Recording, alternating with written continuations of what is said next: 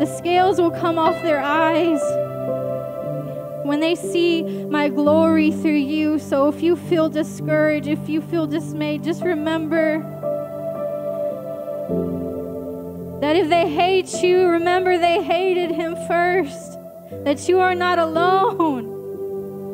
Because in his kingdom, in his kingdom, the last shall be first.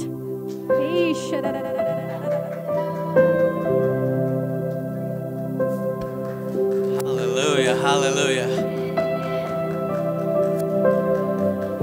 The Lord has put something in my heart as soon as Sister over here was preaching her testimony.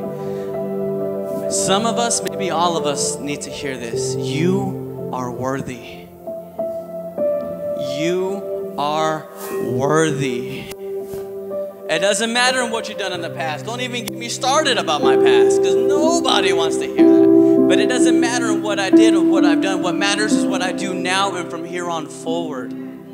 The enemy is going to attack you, the enemy is going to discourage you, but just know that you are worthy.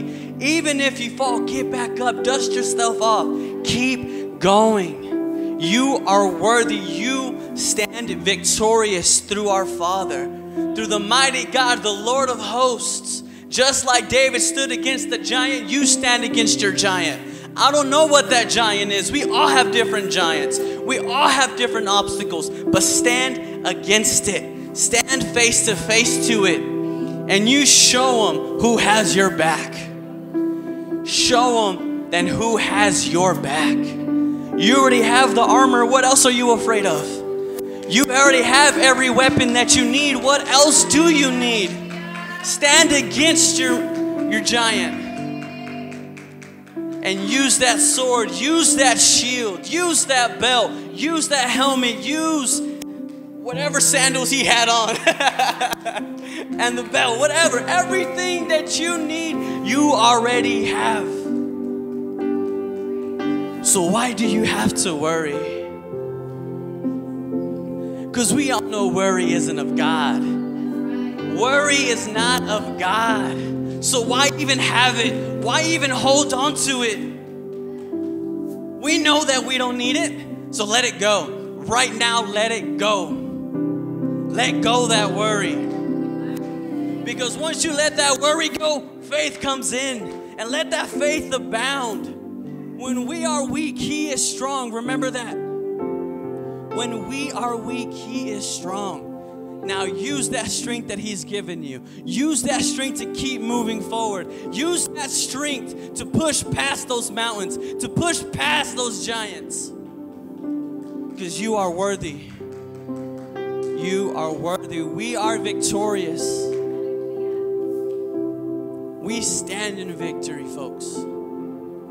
We stand in victory, but we allow our circumstances to help forget and where we stand with God. Did you already forget that the enemy belongs in the bottom of our foot? Did you already forget that Satan has no power over you?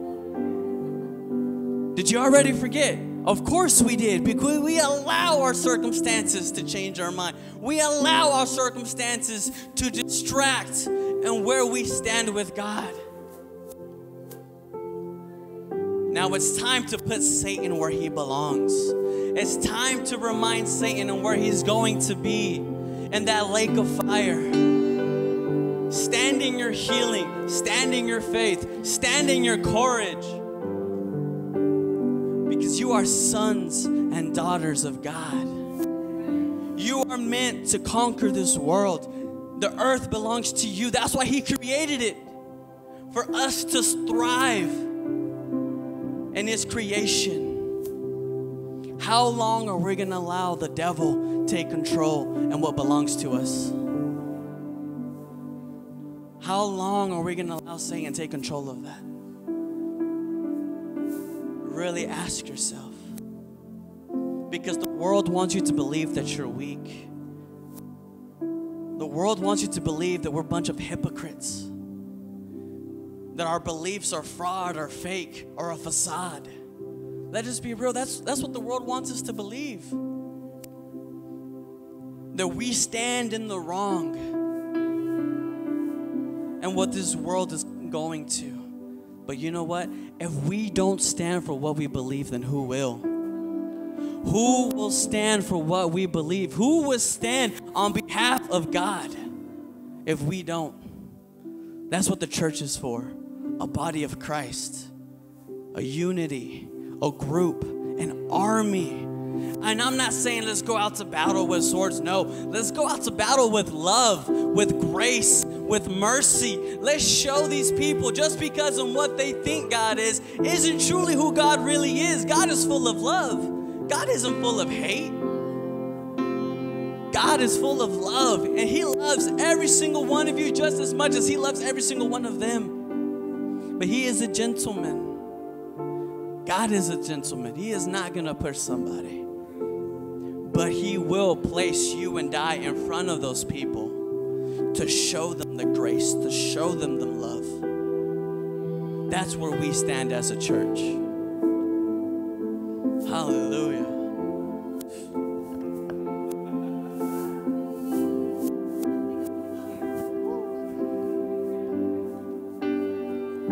Morning, IBC. Good morning, saints. Good morning, family, in Jesus' name. I'm hearing something in my spirit this morning. When Noah was called by God, when he was anointed and chosen of God's saints to build the ark, he wasn't a great boat builder. He wasn't a, a perfection craftsman. He had faith. He had faith. When he was mocked, when he was scorned, when he was ridiculed, when they laughed at him, when they said, pretty much, they probably said, You're crazy. There's no rain, there's gonna be no storm, there's gonna be no flood. And this was over a hundred years in the name of Jesus. God is asking you, saints, today to press in and have that radical faith faith of a mustard seed. We are God's people in Jesus' name. Die to self this morning. Hallelujah, hallelujah. The Lord is asking you, will you live in faith? Will you be faith walkers? Will you be faith believers? Will you be faith walkers in the name of Jesus? Will faith be flowing through your veins? Will Jesus' faith, Jesus, you are our faith. And God, you never lose a battle. When do you lose a battle, Lord? You are victorious every breath, every heartbeat. And that's the faith, saints, that He has graced us with. Every moment we breathe in the name of Jesus, raise your hands this morning. Give Him a shout. Dance for Him. Die to that flesh today. There is too much flesh in here this morning. Crush it. Crush it. Die Die to self in the name of Jesus. Step out in faith. The Lord is challenging you today. Faith in the deep waters, faith in the low valleys, faith in the dark seasons, faith when you have sickness in your body, faith in every circumstance, in every situation. Believe and trust in the Lord. We're faith walkers in the name of Jesus. And Noah never gave up his faith. And he led his family. He didn't, his wife didn't come against him and mock him and say, No, you're crazy, husband. God's not telling you to build this ark.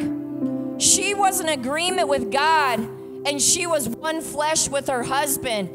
And I pray over the married people. Holy Spirit is the married ones in the name of Jesus, the ones that are one flesh under the holy covenant of God.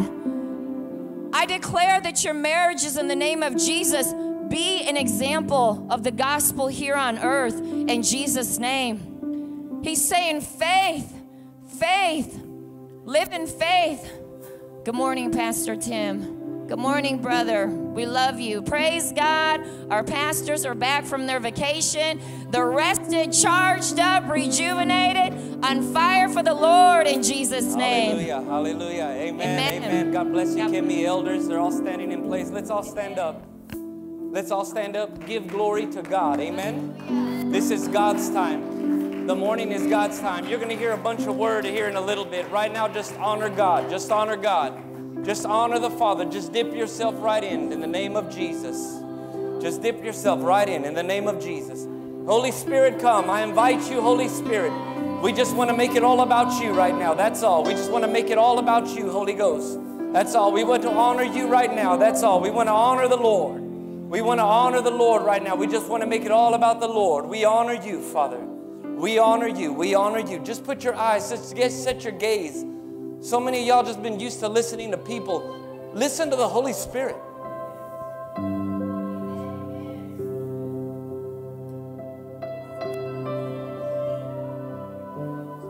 Holy Spirit, we invite you. Holy Spirit.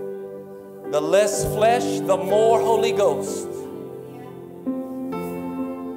The more you focus in on your own flesh, what you're thinking, what's going on, the less Holy Spirit. The more you give up, the more Holy Spirit comes in. Father, Father, Father. Yes, Father, we want to dive in a little bit deeper. We want to dive in a little bit deeper, Father, in Jesus' name. Jesus, Father, Jesus.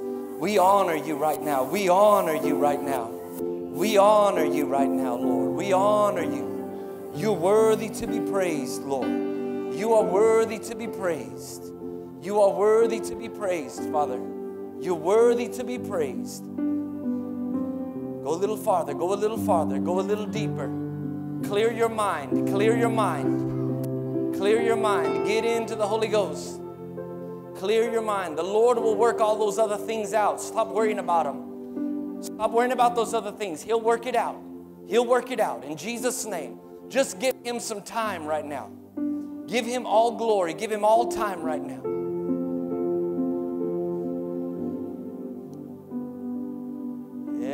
Yes, Lord. Yes, Lord. Yes. Yes, Lord. Father, thank you, Lord. Father, thank you, Lord. King of kings, Lord of lords, just give them honor with your mouths. Give your mouths. You won't be silent when Jesus comes in the room, I promise you. It says every knee will bow. That means you're going to begin to start to praise Him.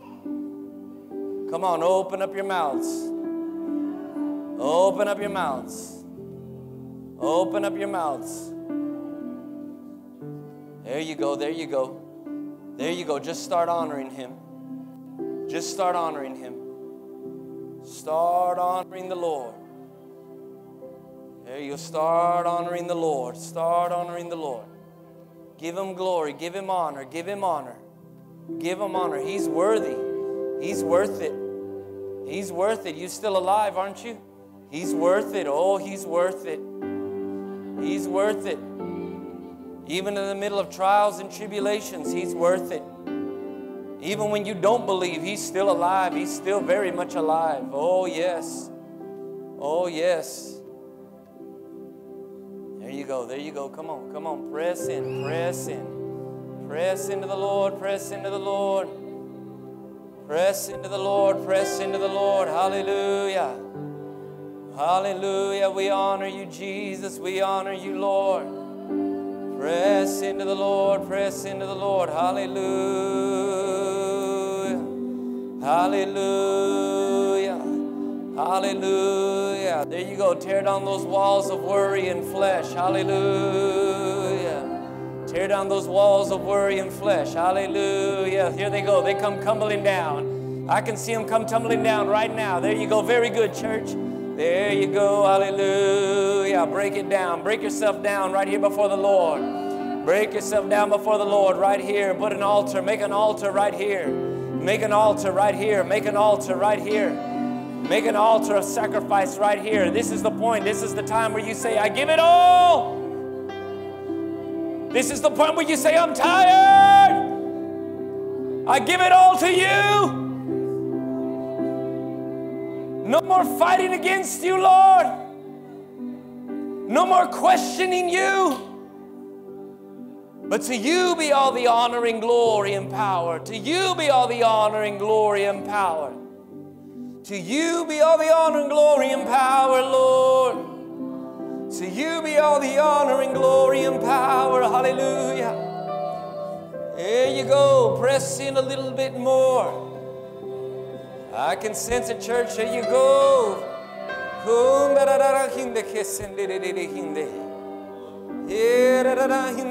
Yes, Lord, yes, Lord. I pray with my spirit, I pray out, Lord. Abba Father, Abba Father, Abba Father, Abba Father.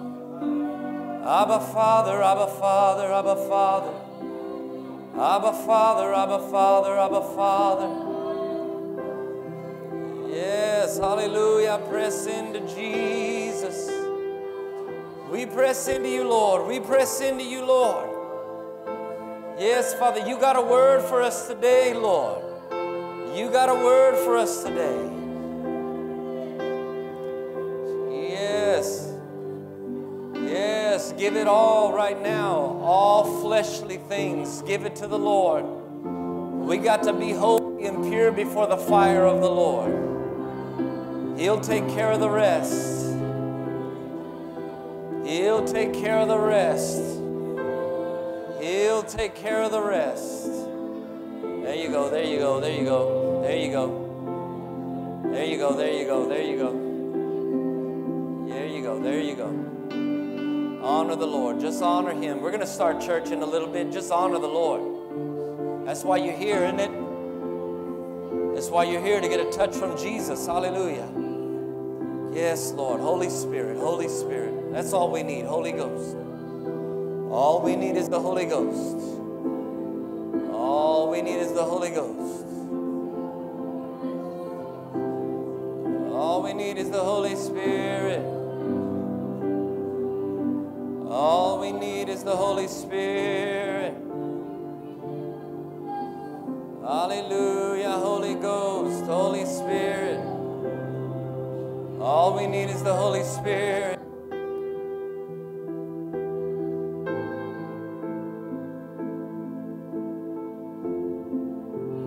All we need is the Holy Spirit. Hallelujah. Hallelujah. Come on, break the walls down a little bit more. Break the walls down a little bit more. How hungry are you today? How thirsty are you today? How hungry are you today? How thirsty are you today? How hungry, how thirsty are you? Yes, Lord. Jesus, Jesus, Jesus. Oh, Father, I just want to love on you right now. I just want to love on you right now. Make straight paths for your people, Father. Make straight paths for your people, Father. Bring clarity. There's a lot of spirit of confusion today. There's a lot of heavy spirit of confusion. A lot of it, I can sense it today. A lot of it, church. You're confused. There's a lot of confusion. Which way? What am I doing? Where am I? Do I go this? Do I go that? Do I stay here? Where do I go from here? What, what am I doing? My feeling says this or this. A lot of confusion. A lot of confusion. We come against the spirit of confusion today. You devil of confusion, I come against you right now. I hold you accountable right now. Stand up and remove yourself out of this place in Jesus' name. I bind the spirit of confusion today in the name of Jesus. I bind a spirit of confusion today in the name of Jesus. I bind a spirit of confusion today in the name of Jesus. I bind you. I bind you. There will be no confusion in the body of Christ. When we don't know what to do, we can always believe and trust and abide in the shadow of the Almighty. We can always abide in the shadow of the Almighty. What do I have to be confused about? I can always hide under His wings. Hallelujah. Oh, hallelujah. No confusion today. No confusion today. No confusion today. No confusion today. Spirit of confusion, stand attention in Jesus' name. I rebuke you out of this place. By the name of Jesus Christ. Jesus. Jesus. You lesser torturing spirits, I bind you right now in the name of Jesus and I send you out of this place to dry and arid places in Jesus' name. Yeah, y'all sense that light right there? Huh? Now you praise Him. Now worship Him, now worship Him, worship Him. We worship the King, we worship the King. Now worship the Lord, now worship the Lord. Now worship the Lord. There you go. I see spirits glowing right now. Now worship the Lord. Worship the Lord. Hallelujah, hallelujah, hallelujah. You are worthy, Lord. You are worthy. You are worthy. Hallelujah. Father, I pray for every saint that's on their way right now in the name of Jesus, Father. I pray over a bickering spirit right now in the name of Jesus, an argumentative spirit, Father.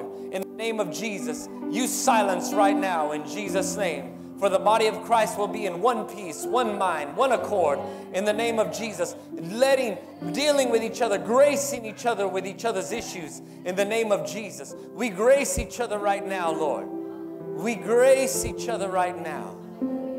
If you have aught against anybody right now, just forgive. Just forgive for the sake of getting a word from the Lord today. Just forgive in Jesus' name. Oh, yes. Hallelujah. Hallelujah. Hallelujah. Yeah, right there. I hit a vein right there. Yes, just forgive. They may be loved ones. Those may be people right now that they may not even be in here at home, wherever they're at. Just forgive. Just forgive. Forgive. There you go. Cast it to the Lord. Cast it to the Lord. Cast it to the Lord. Cast it to the Lord.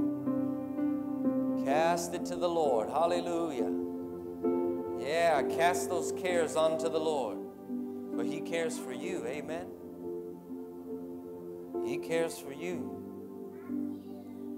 He cares for you. He cares for you. He cares for you. Hallelujah. Hallelujah. Thank you, Father.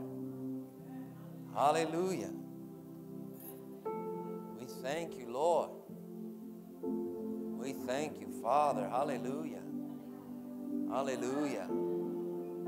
Praise team, come on up in Jesus' name. Hallelujah. Hallelujah. Oh, you're worthy to be praised. Hallelujah. Hallelujah. Hallelujah. Hallelujah. The first mention of the word worship was, it came by Abraham's mouth. It came from Abraham's mouth.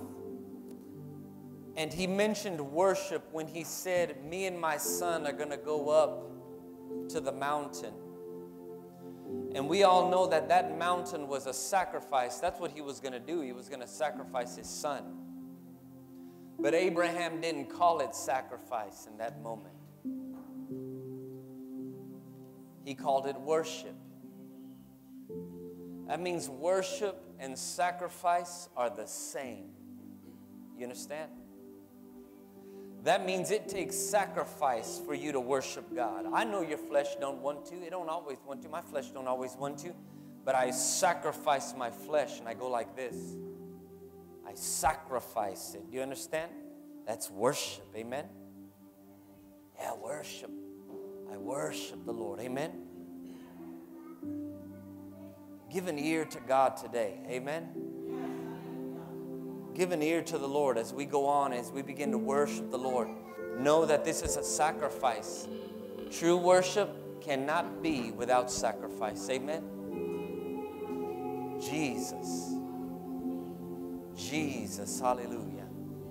Sister Nina, come on up here and just pray us in and let's get this thing started in Jesus' name. Hallelujah. Who's happy to be in the house this morning?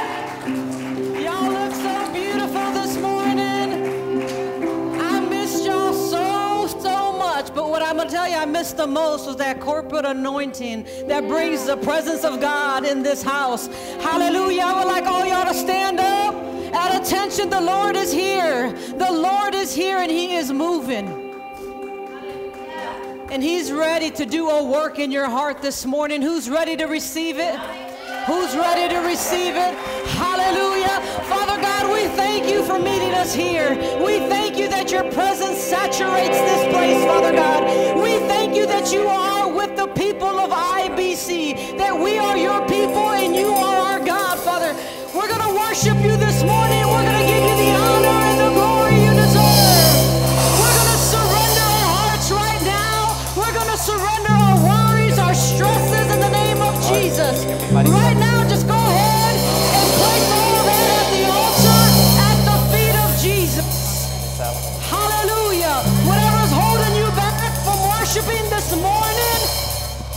Let it go and give it to the Lord. Let that be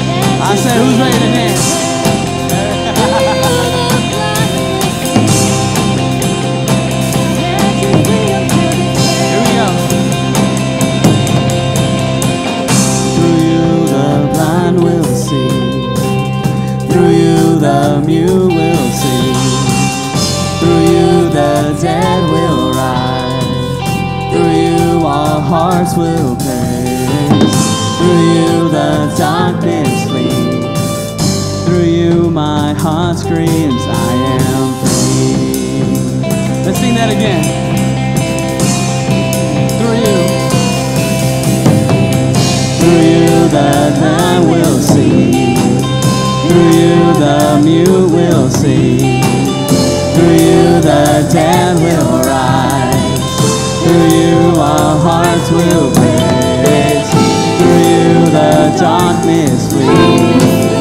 Through my heart screams, I am free. How many of us are free? Here we go. I am.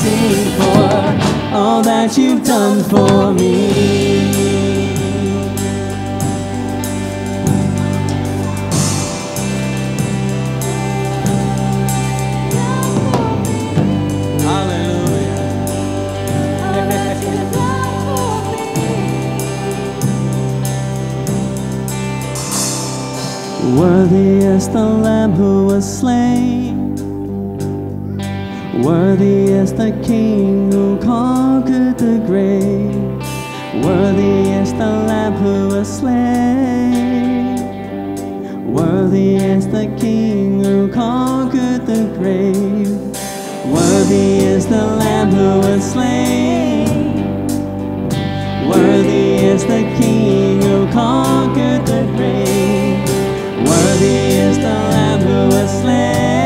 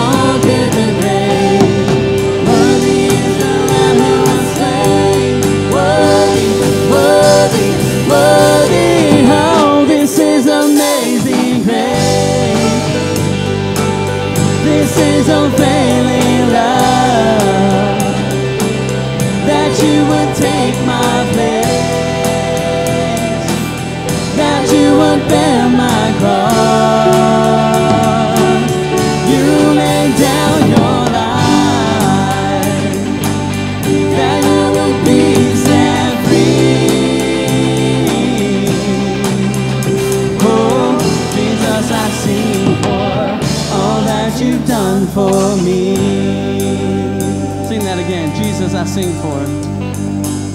Jesus, I sing for all that you've done for me.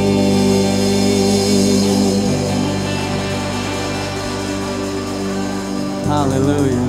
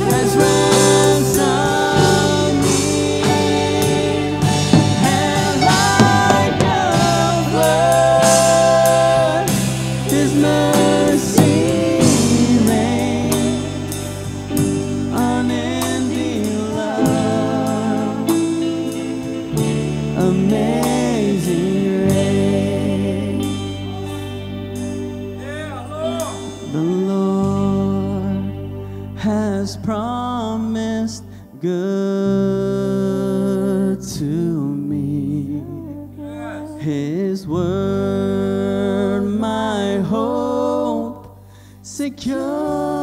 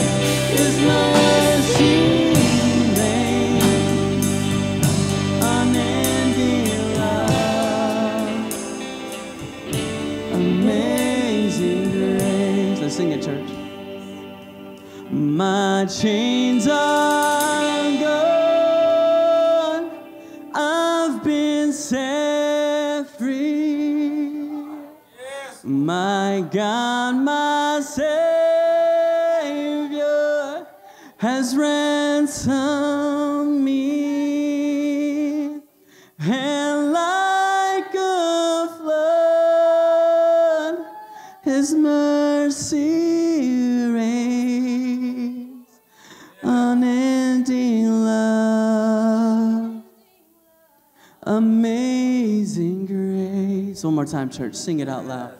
My chains are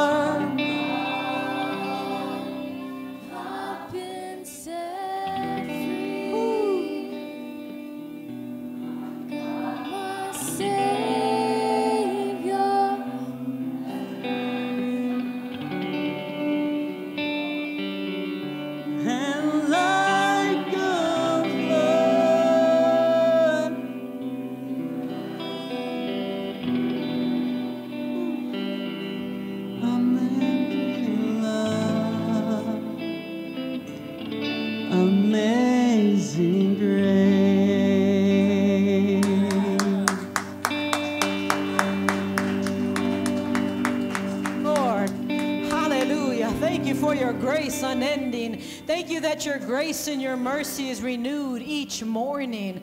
How many of y'all tapped into that grace and that mercy this morning? How many of y'all could use some of that new grace and that new mercy? I don't know about y'all, but I don't even want a one day old mercy. I want brand new mercy every morning, brand new grace every morning. And that's what the Lord offers us this morning. Hallelujah. I receive it and I believe it. Who is with me in this house? Hallelujah. Thank you, Lord. Thank you, Lord. Whoa, wow. What a beautiful hymn. What he's done for us. I don't know about y'all, but I've been saved from a lot. Much grace was offered to save my life and his hands had to get really filthy to pull me out of the mess that I was in. Does do anybody else have a testimony like that out here? Can anybody relate to God getting dirty so he can jump in that mess that you're in to pull you out? That's the grace that he's offered us. Amen. Hallelujah. How many of y'all back this morning? How many of y'all wanting to continue to worship him in tithe and in offering? Hallelujah. Hallelujah. Hallelujah. I know I am ready. We've been uh, on our vacation with our children and we just came back. In fact, we were on the road this morning just getting in the presence of God so we can meet you here. And I told my husband, just drive by the house and I will jump out. Don't even stop. But it, it gives us a good picture, relaxing, finding his peace, finding that rest, getting away from the busyness of life, and just enjoying what he has provided for you.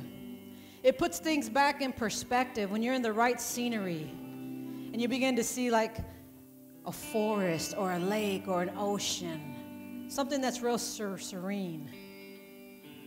When you're worshiping him with the backdrop of his creation, it's like, oh, yes, Lord. It says in the Word of God that He not only provides all things, but He also provides for our enjoyment. Hallelujah. So anytime we go on vacation, I'm like, Lord, I know you provided this enjoyment for us. And we're going to find that rest and we're going to fully enjoy this enjoyment that you provided to the utmost. It's a godly thing to find your rest. Amen. It's a godly thing to work hard and play hard. Amen. Hallelujah. So this morning, I'm really, really grateful. Putting things back in perspective. My goodness, the Lord provides for our enjoyment.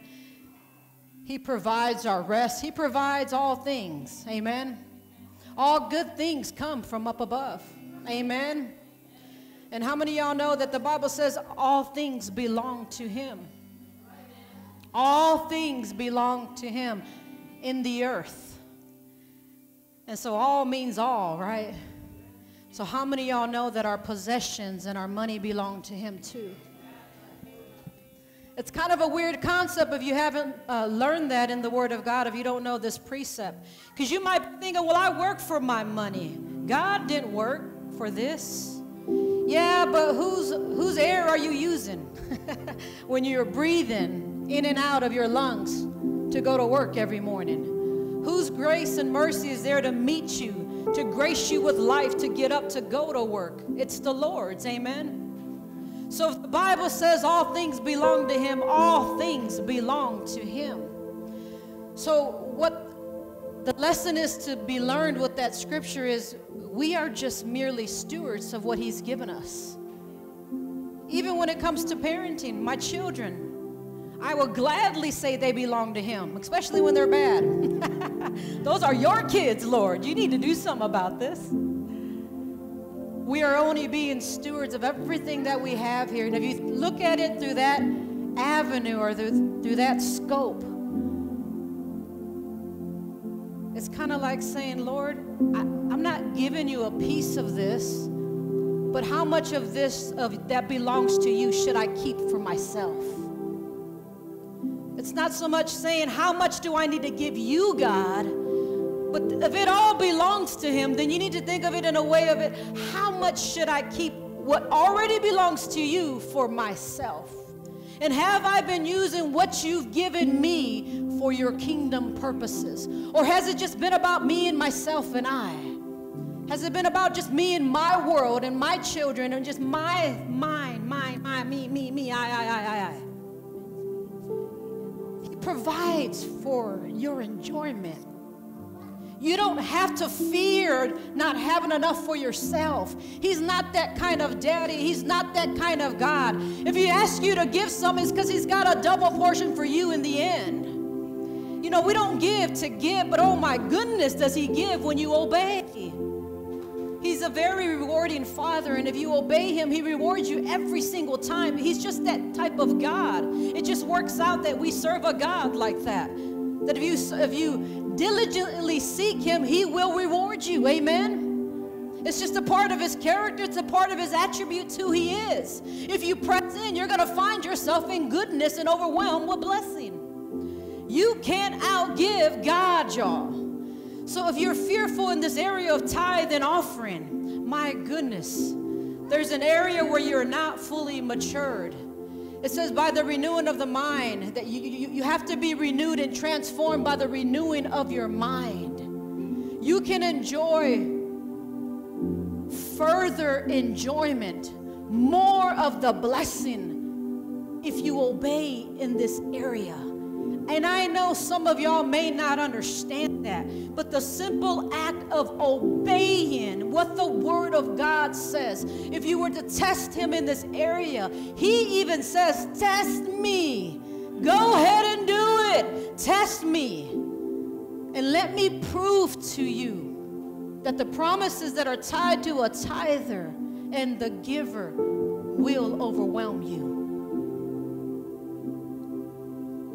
You need to understand what we have in our hands is very little. What we have in our possession is very little in comparison of what He wants to give us.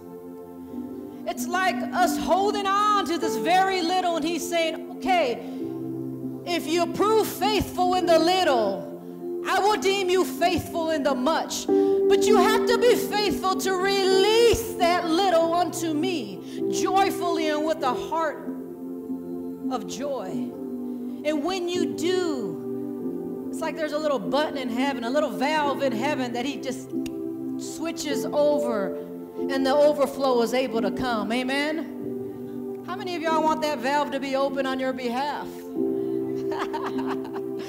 It takes a while to get here to have this understanding. It takes stewardship in the Word of God. You have to begin to be a steward not only in your time, not only in your funds, but in the Word of God. Because this may be foreign what I'm talking to you about. You may think, what is this woman talking about? She just wants my funds. No, no, no, no. The funds don't come to me. I'm just a minister of the Lord. Amen. It goes to Jesus Christ and His kingdom.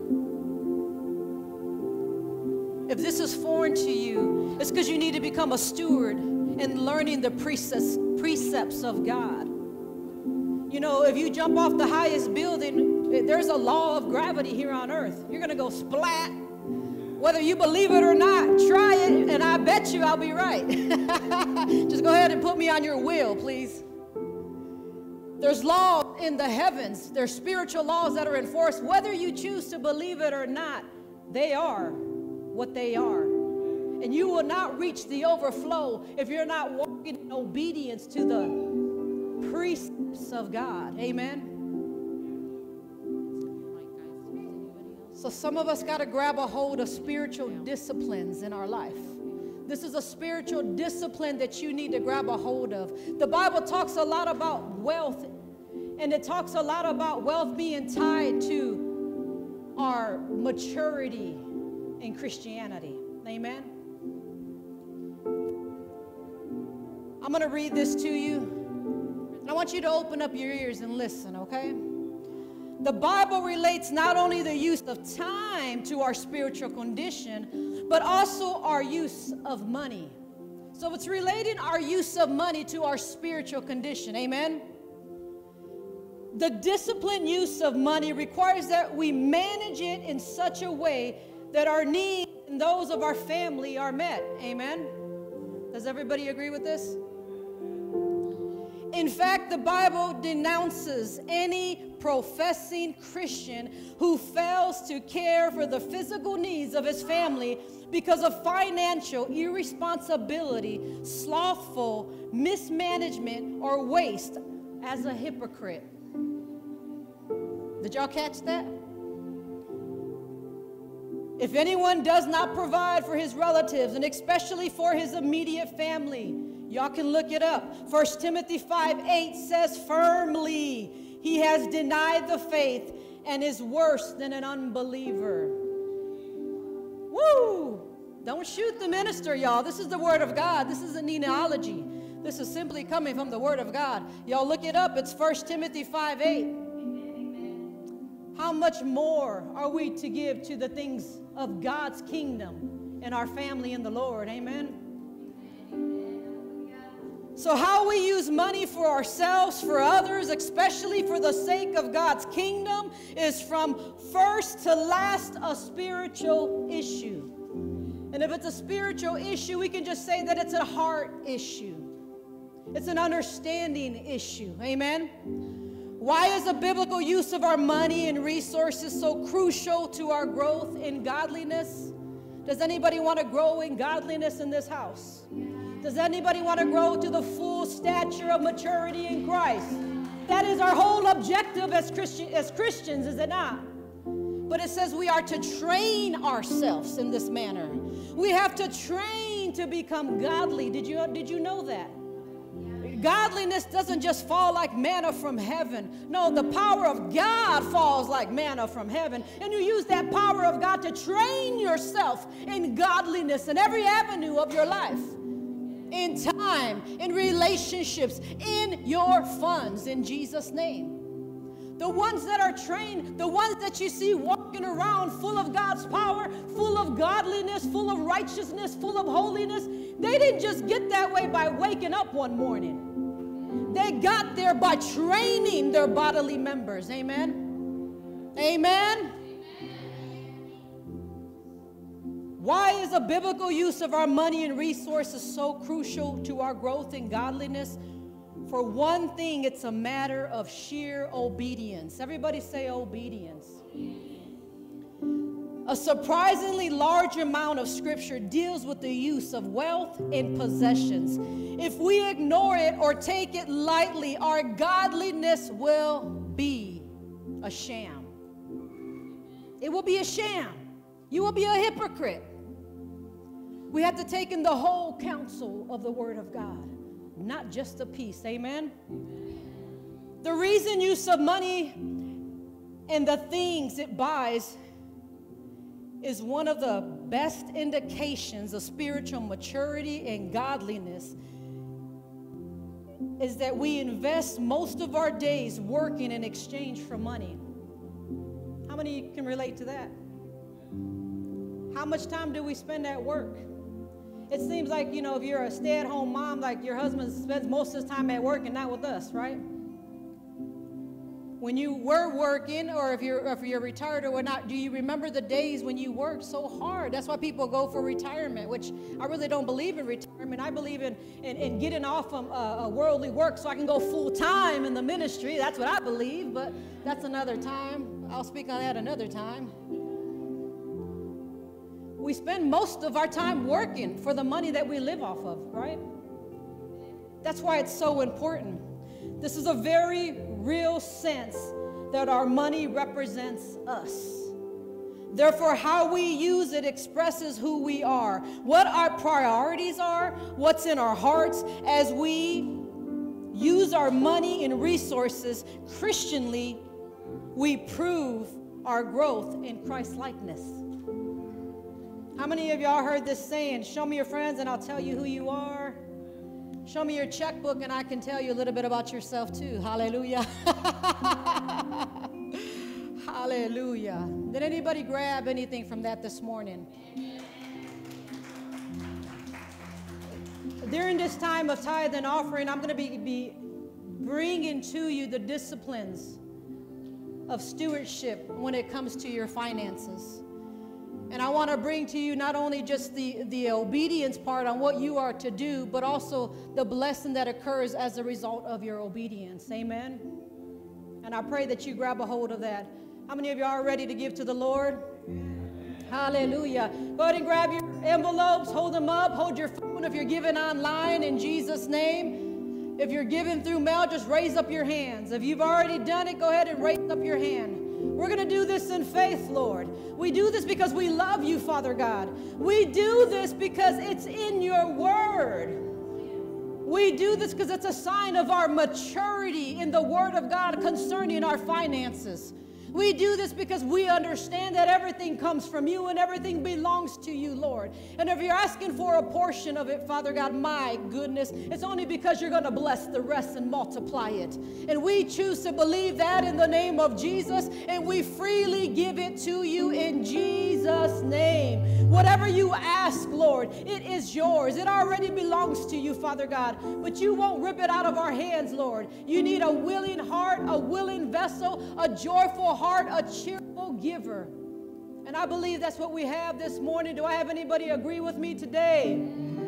Hallelujah. Bless the tithe, bless the offering, and multiply it in Jesus' name. And everybody that agrees with me says, Amen. Amen. Keep playing that, sister. Just let the keys just fill this room. Let us just bask in the presence of the Lord. Hallelujah.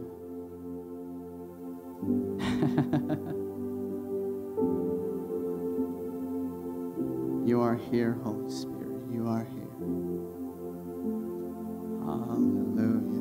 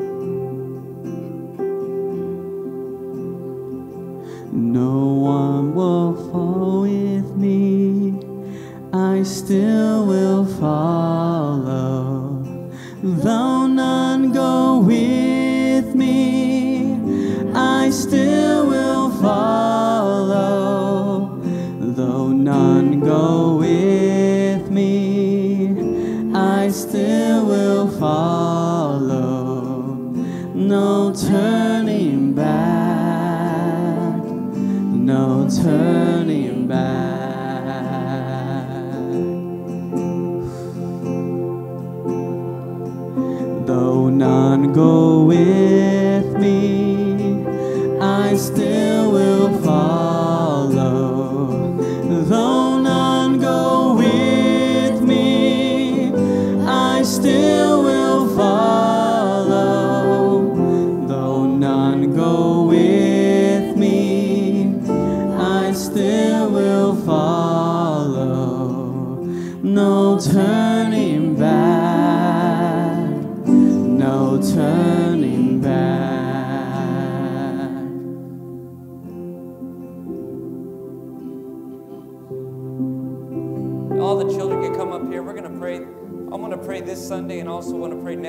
For all the kids going back to school.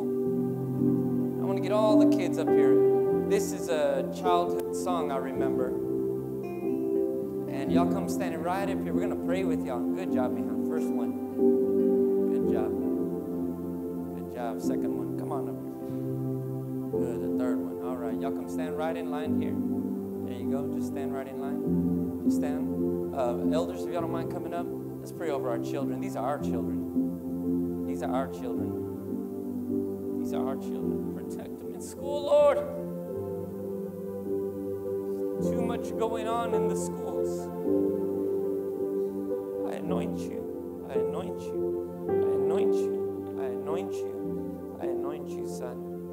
I anoint you, daughter. I anoint you. I anoint you. I anoint you with protection, with protection of your minds and protection of what you learn in school.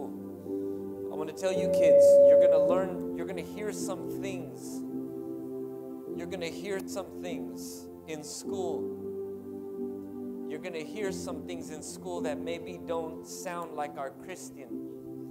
Sometimes they teach you in science that we come from monkeys and things like that.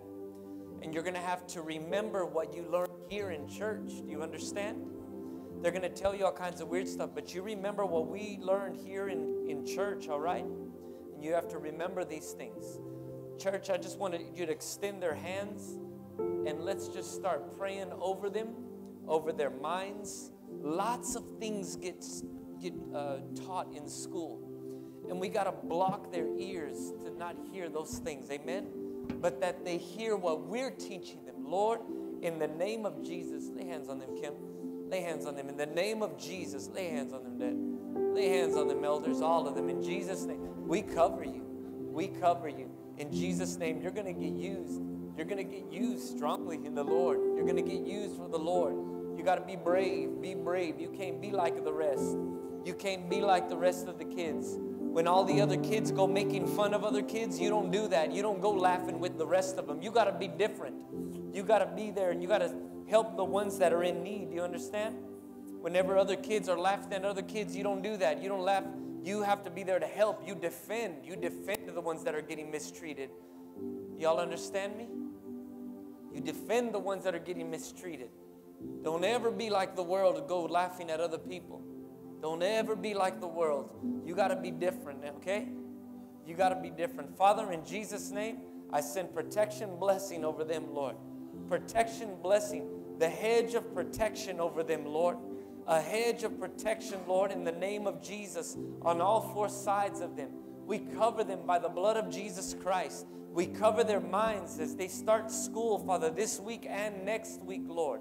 Father, we cover their minds and their ears, Father, that they be able to hear wrong teaching. That they be able to hear wrong teaching and know and know and remember what Pastor Tim is saying today. And remember what their teachers are saying today. In Jesus' name, extend them. Just extend your hands this way and release faith over them. Don't you know the devil wants the children? I remember in my U.S. history class, I remember a statement that Hitler made while he was trying to take over the world. And he made this one statement and he said, Give me the children and I'll take over everything. That's all he said. He said, Give me the children and I'll take over the whole world. He knows that children can be trained. You understand? So we got to block our children from wrong training. You understand? That comes through prayer. I feel a heaviness for this right now. I feel a heaviness over our children's protection in Jesus' name. Oh, Father, let none of them be robbed, Lord. Let none of them be robbed, Lord, in Jesus' name. Let none of them be robbed. It says that the children ran to Jesus and he touched them, he blessed them. And that's what we do, what Jesus did. In Jesus' name, we don't, we don't deny the children, we let them run to the Lord. In Jesus' name. Jesus' name. Keep praying. Just keep praying. Thank you. Thank you, Lord. Thank you, Lord. Thank you, Lord. Thank you. Thank you, Lord. A little bit of ministering going on here. There you go. A little bit of ministering. Thank you, Lord. Thank you, Lord. Thank you, Lord. Thank you, Father. Thank you, Lord. Thank you, Father. Thank you. This is a serious thing. Cover them. Cover them. Cover them. Cover them. It's a serious thing. Some of them start this week. Some of them are going to start next week. Cover them, Lord. Start praying for the teachers. I sense a heaviness to bind the spirit of alcoholism over our teachers.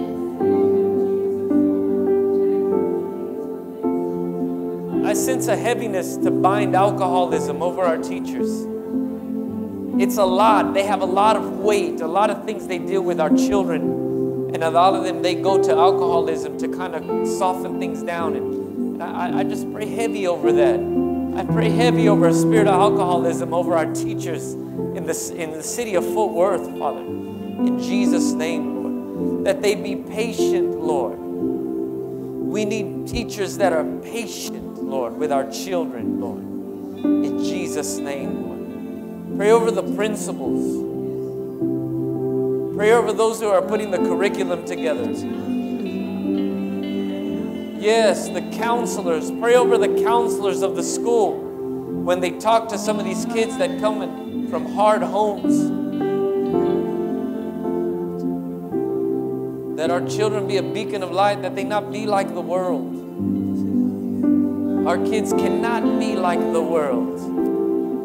We bless our children, Lord. We bless our future, Father. You said you blessed Abraham because you knew he would teach his children, Father. That's why you blessed him, Lord. In the same way, Father, we bless our children. We send them off to their schools, Father, with divine protection.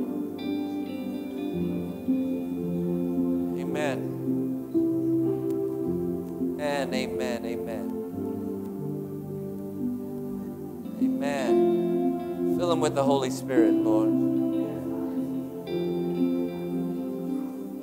Yes, Lord. Amen. But in the kindergarten, she said, All right. Amen.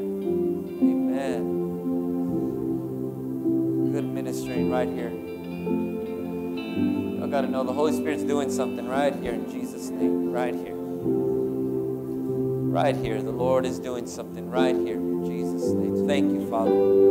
Thank you, Lord. Father, be with the parents, Father, that they not worry, Father. Be with our parents, Lord. Check your kids' homework. Check what they're teaching them, parents. You understand? The devil is on the prowl like a lion. Don't you know that? Check their homework. Check what they're learning in science, especially in science. Especially in science, the Big Bang Theory, all that kind of stuff. You can check your children's work. You got to combat what they're trying to teach through worldliness. The enemy is doing that, the enemy. And when you see stuff like we come from monkeys and the Big Bang and things like that, are uh, contradicted and say, look, look, this is what we know though. We didn't come from monkeys. Monkeys didn't just change. We, Adam and Eve, remember Genesis? You got to teach them that. Make that louder than what your the, the school systems are teaching them. Do you, have, do you understand what I'm saying? Make it louder. Check their homework. Check what they're learning. Mothers, check what they're learning. Fathers, oversee your families. Amen. We bless them all. We bless them all. In Jesus' name I pray. And we all say, Amen. Okay, y'all can go to school. I mean, go to school. Y'all can go to class. Oh, yeah, school, I guess. Huh? Yeah, yeah. Amen. There goes the future. We were once there, weren't we? And now what are we doing? We're changing the lives of people, aren't we? Amen. Let's give a hand for the Lord. What a beautiful thing. Hold that right there, Miss Alice. Hold that right there. What a beautiful thing to be in the presence of the Lord. Amen.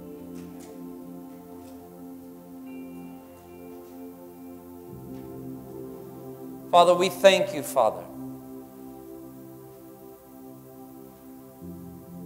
We give all honor and respect to the Word of God now.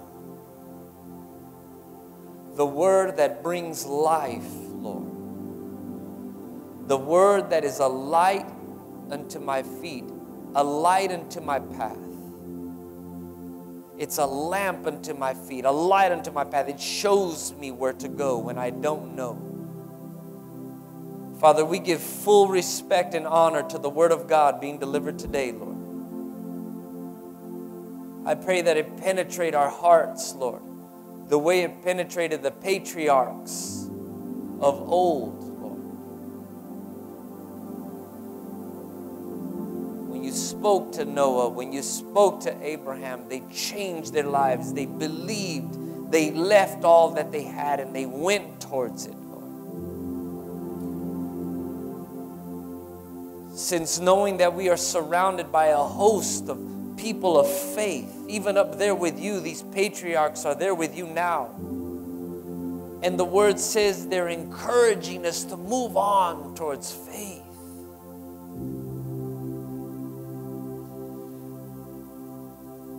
There are people before you, maybe great aunts, great uncles, great great great grandparents that prayed over you they lifted up a prayer and the, the Lord still hears it as if they lifted it up now. I I want to give you a thought. Me and my wife were talking one day. The other day, and my wife said, Man, the blood of Jesus still cries out. And I said, You know what? It reminds me of Cain and Abel. It says, When Cain took Abel's life, the Lord said, I still hear his blood crying out to me from the earth. And I'm telling you, Jesus' blood that fell to the earth still cries out. It still is going out forth, still being heard. Amen. Oh, Father, let us hear those words today and let it land on good ground.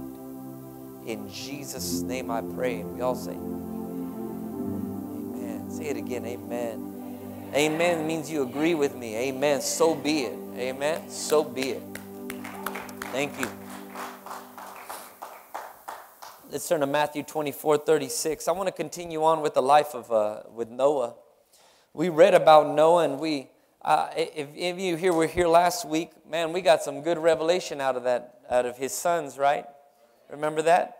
His sons, that one of them didn't cover the Lord, and I mean, didn't cover Noah, and the other two did, and they were blessed. The Lord, uh, Noah blessed them, but he didn't bless the one that left him uncovered.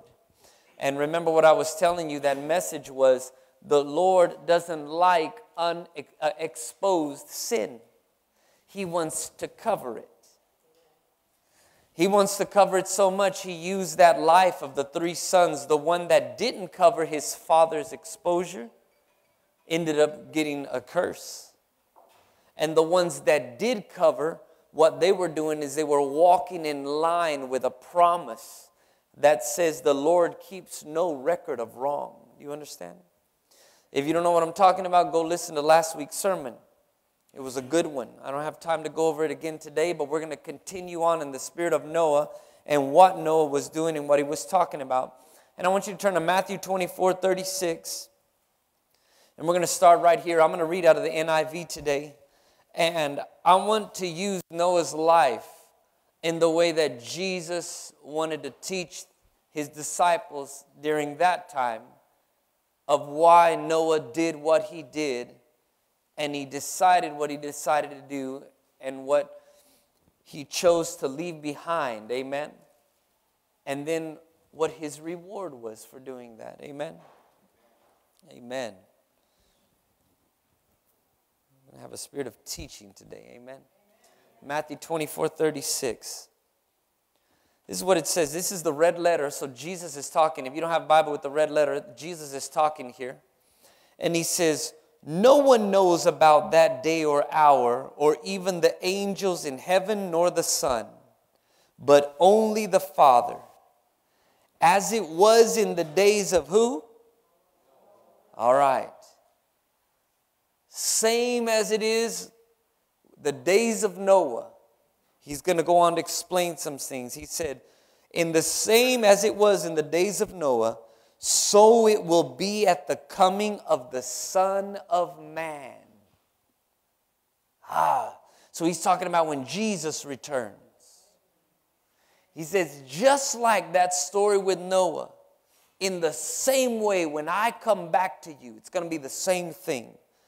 Verse 38 for in the days before the flood, people were eating and drinking, marrying and giving in marriage, up to the day Noah entered the ark. You know, I thought about this and I said, you know, I believe what the Word of God says. When that flood came, somebody was in their happiest moment of their life getting married but they didn't know Christ.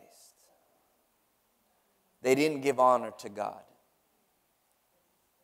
When that flood came, people were enjoying each other's company in their living rooms.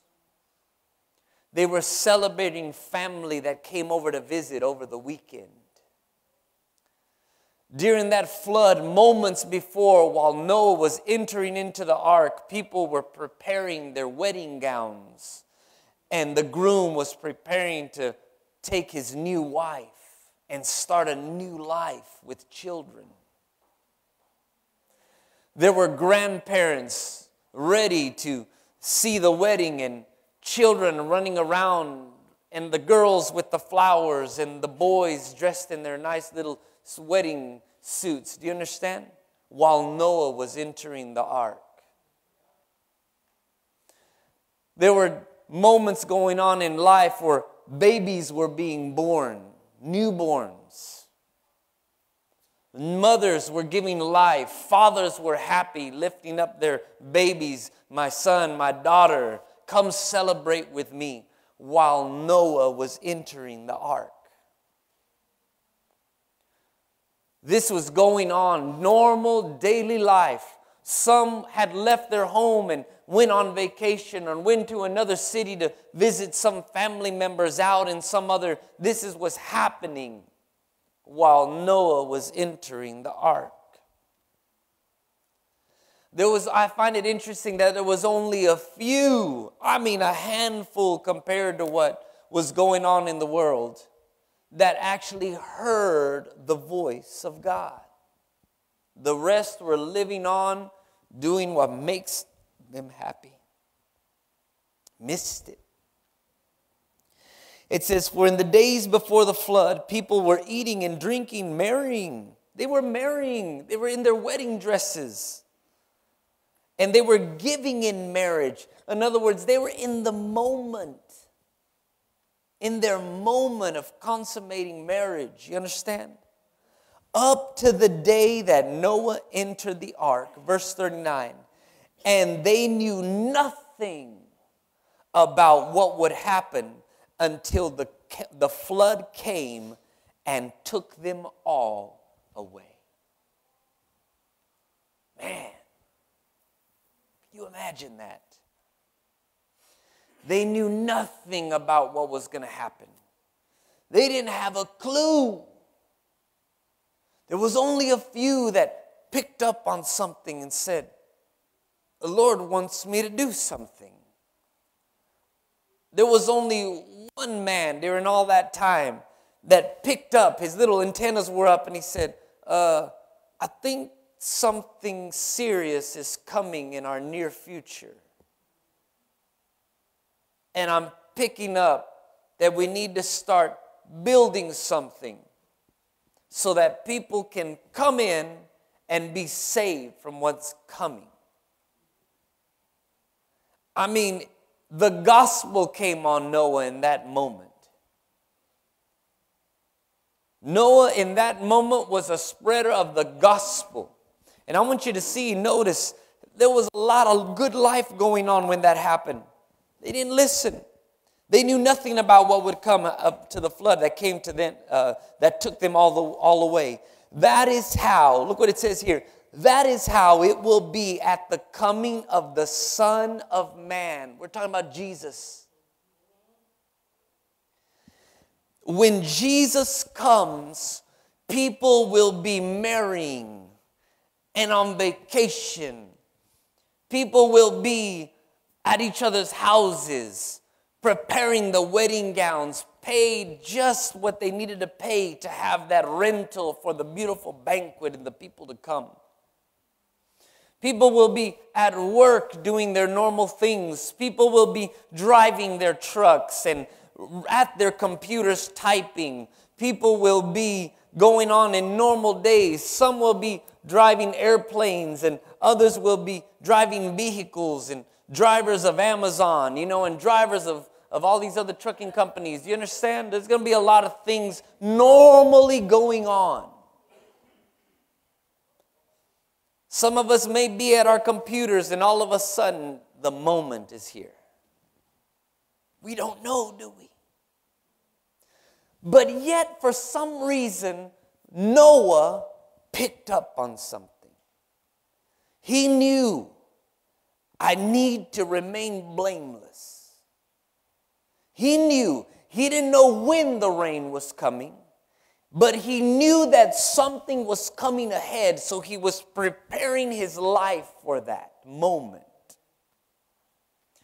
He was preparing a life and his children's life for and his, his whole family for a moment. He didn't know when, but he knew that if he prepared and got everything ready, when the moment came, he would know what to do. He would be saved. You understand? It means that he took the rest of his life from that moment. I'm sure he was there living life like normal, picking up water, getting food, preparing, trying to extend his land, whatever it is. But from that moment on, the first priority came that there is something coming in the near future that I must be ready for. Jesus said, in the same way, that will be the return of Jesus. My question is how many Noahs are going to be here today? How many Noahs are there going to be prepared, ready? We don't know when, but we can live a life of readiness. Because we don't know, do we? Verse 40, look what it says here. Just in case you think I was kidding around. Two men will be in the field, one will be taken away and the other left. When Jesus returns, this is no joke.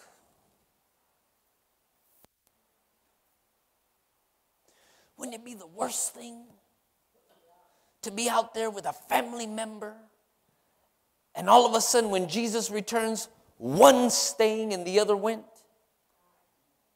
I don't want that for my family. I want my family story to say there were five and then five gone. Woo! There was five of them there and they're just gone. I want there to be a moment where there was a house there full of people, full of life, and all of a sudden in a moment, they ain't there. The whole house is gone. This is going to be a reality. Can you imagine what it'll be like when people just come up missing? This is the truth. It says, Two men will be in the field, one will be taken away, and the other one left. 41. Two women will be grinding with a hand mill. I believe this will be true. I believe, along with other many things, there will be two people grinding with a hand mill. One will be taken away and the other left. Like a flood, it's going to come. People will be doing their normal daily things talking about the normal things that they talk about and planning about a future. Does that make sense? 42, it says, therefore, keep watch. Say that word with me watch.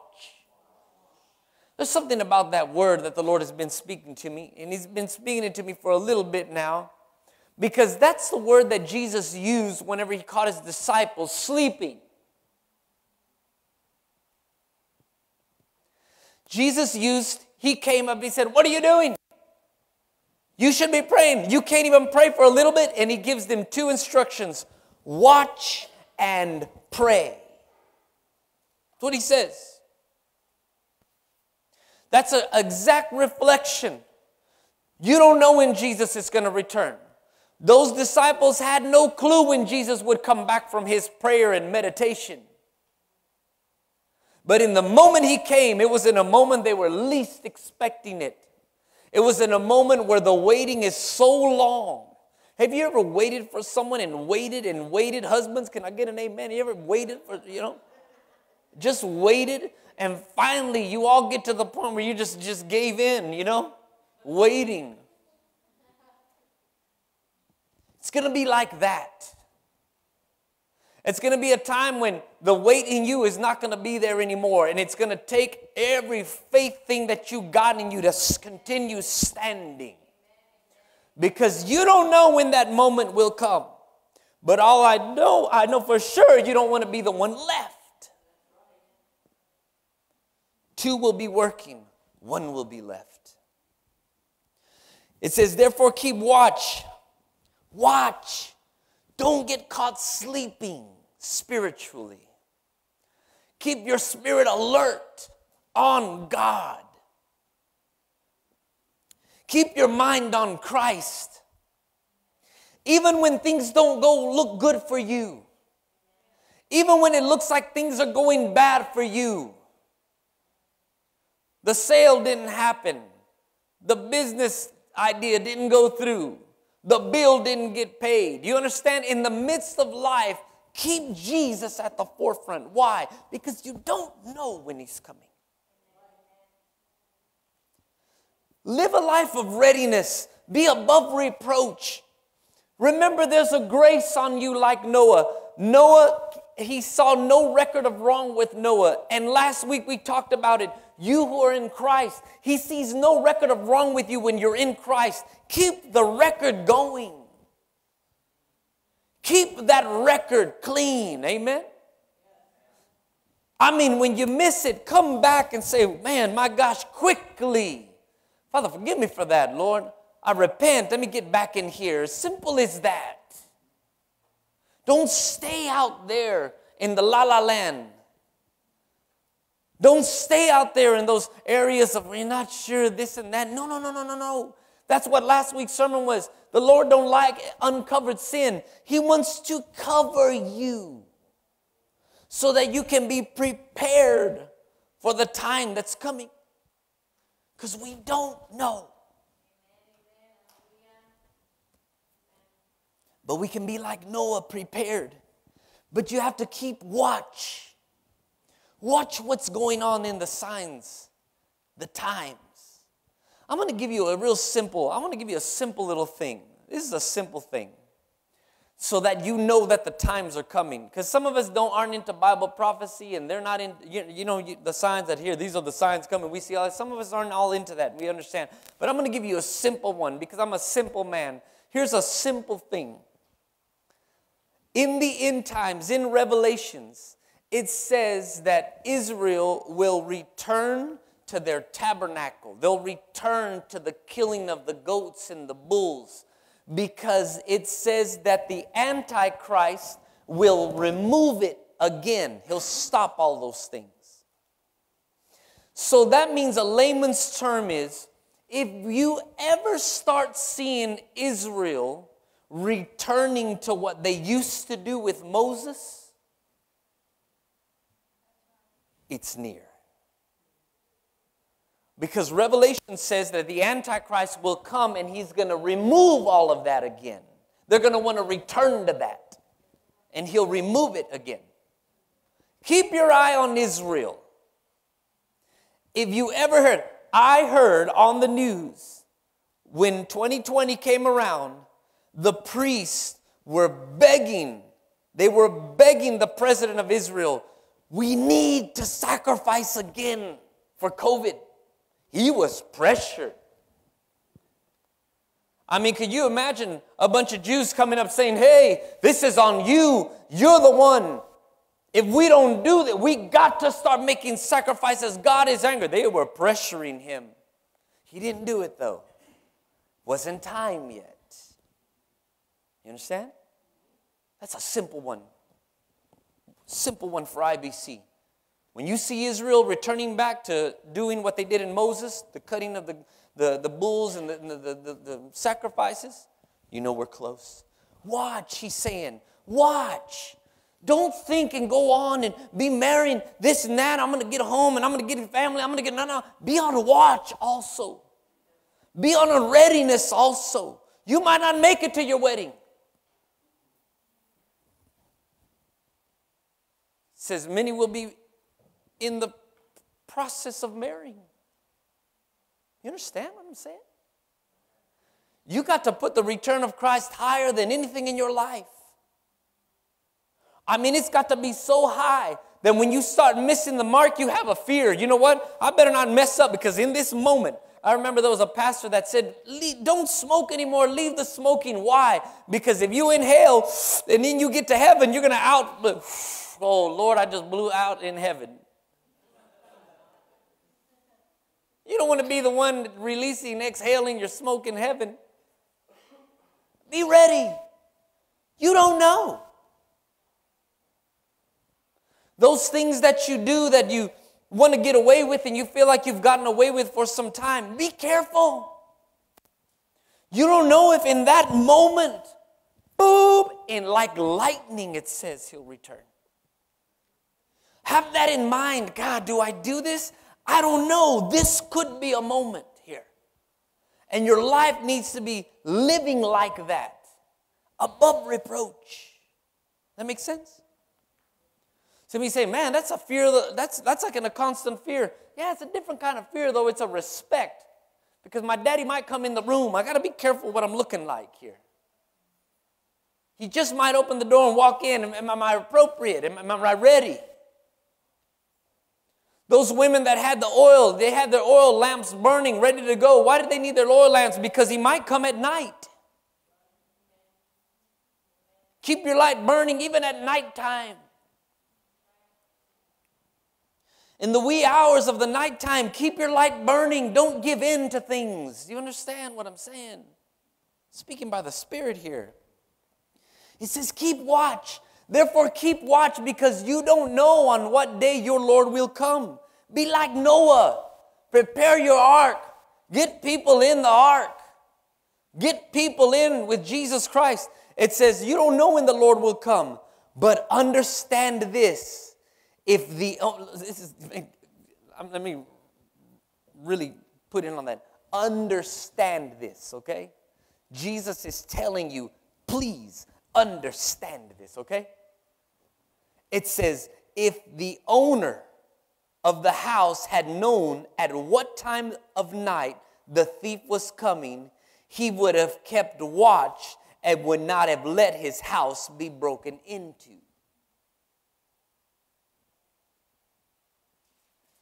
If you knew when your house was going to get broken into, remember that time when they broke in and broke in your car broke in whatever? Remember that time you had some theft, somebody stole some things from you? If you'd have known when that was going to happen, you'd have been ready, right? But what was it? It was a moment you were caught when you just wasn't thinking about it, were you? I didn't think to lock it. I didn't think to park it all the way in. I didn't think to close everything. I didn't prepare for it that day. And that's when the thief came. He said, Understand this. It says, He would have kept watch and would not have let his house be broken into. 44.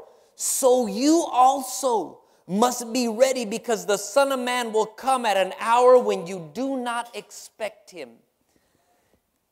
Jesus just likened himself unto a thief that comes and you don't even know it. Did you see that? Jesus himself likened himself to a thief when does a thief come? When you least expect it. I mean, it's just a dumb thief to do it right in the open. Even the thieves know you come at night. Why? Everyone's asleep. No one's expecting.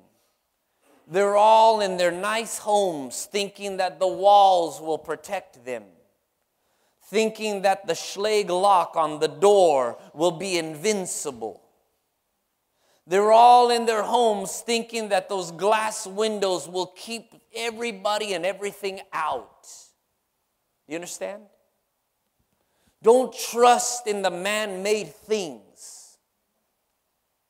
You got to be ready. You got to have a life ready. Because Jesus will come like a thief. You won't know. It says, So you also must be ready because the Son of Man will come at an hour when you did not expect him. Who then, watch this, who then is the faithful and wise servant? I love that. Jesus saying, You don't know when I'm going to return, but who's the faithful and wise one? I love it that there he doesn't say, Who's the one that has the greatest ability? Because when it comes to this moment, it doesn't matter whether you're a great have great abilities to preach or you have awesome abilities to do this and that. He's not looking for ability. He's looking for the what? Faithful. Do you see that? Highlight that word. The Lord commends faithfulness rather than ability. In that scripture right there, when it says, Who then is the faithful? He didn't say, Who then is the, the, the one with the most ability? Who is the one that gained the most? Who is the one? No, no, no. He looked in there and said, Who then is the faithful in this moment? Who kept their faith with me? Who didn't drop their faith during the waiting? Who didn't fall asleep during the waiting? Who didn't get distracted by some other person, thing, or idea during the waiting when Jesus would return? Man, listen to me what I just said. Who will not be distracted by a person, a place, or a thing while waiting on Jesus to return? That's what he's saying. Who kept their eyes on me? Is a big deal. Well, there's a holy fear in the room, amen? It's good. Be afraid. You know how afraid you need to be? Working out your salvation with fear and Oh, I love when tell me, ah, Tim, but that, he's talking about a reverent fear. I don't know about you, but a reverent fear that causes you to tremble, I don't know. That's something a little more profound. Talking to me, tell me, well, I don't know, he's talking about fear. No, I don't know about you, but I'm scared. Who can stop the Lord, man? And I fear him. I don't fear him in a, I mean, I respect him, but man, I fear God. You kidding me? maker of everything, heaven and earth? Oh no, when I work out my salvation, knowing what will happen in the coming, I have a tremble to it. I don't want to be left behind. I don't want to be that one. I do not, just because of my mouth, I have a loose mouth, I will put that mouth in check. Because I have loose eyes that want to see things that I should, I put my eyes in check. Why? Because I have a fear. I don't want to be caught in things in stupidity when that moment comes. That makes sense? Man, you got to have that reverent fear on you. No wonder Jesus says, before the sun goes down. You know what scripture I'm about to say? Before the sun goes down, man, make peace with your loved ones. Forgive each other before the sun goes down. Why? Because thieves come in the night. It would be a terrible thing for you to be holding grudges when the sun returns. Terrible thing. Amen? Release it. Have a fear and trembling on you. You know what? I just need to let this go for my own life's sake first, and then for the sake of others that are around me for the sake of husbands and wives, my children, my nephews, my nieces. For the sake of them, the only way you're going to have the go on you is when you have that reverent fear on you to go. To have a reality that there will be a day coming that I need to be ready. Amen. I know this is rough. You don't think I'm right now like, man, Lord, I've been getting my life in check, man. So you also must be ready because the Son of Man will come at an hour when you don't expect him. 45. Who then is the faithful and wise, whom the master has put in charge of the servants in his household to give them their food at their proper time? It will be good for that servant whose master finds him doing so when he returns. I tell you the truth, he will put him in charge of all his possessions. You get a blessing. 48. But suppose that servant is wicked and says to himself, My master is staying away a long time. He probably won't come during my time. He'll, he'll probably come way when our children are probably old and maybe they got their children. I'll be long gone from here. Uh-uh. You're going to be very much alive when Jesus returns. I don't care if it's 20, 30, 20, 90. You'll be there. You'll be alive when that horn is, and it says the dead will rise first. Oh no, just because you think you died doesn't mean you escape this moment. It'll be a moment, moment like any other. Suppose the master says, says, says, My master's staying away a long time. And then he begins to beat his fellow servant and to eat and drink with drunkards. See, goes on with life, right?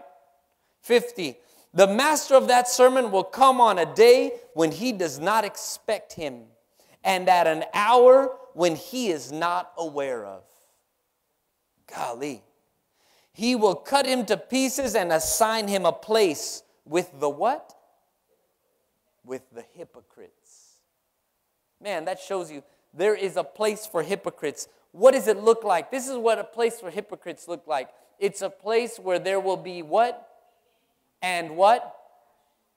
Gnashing of teeth. Oh my gosh.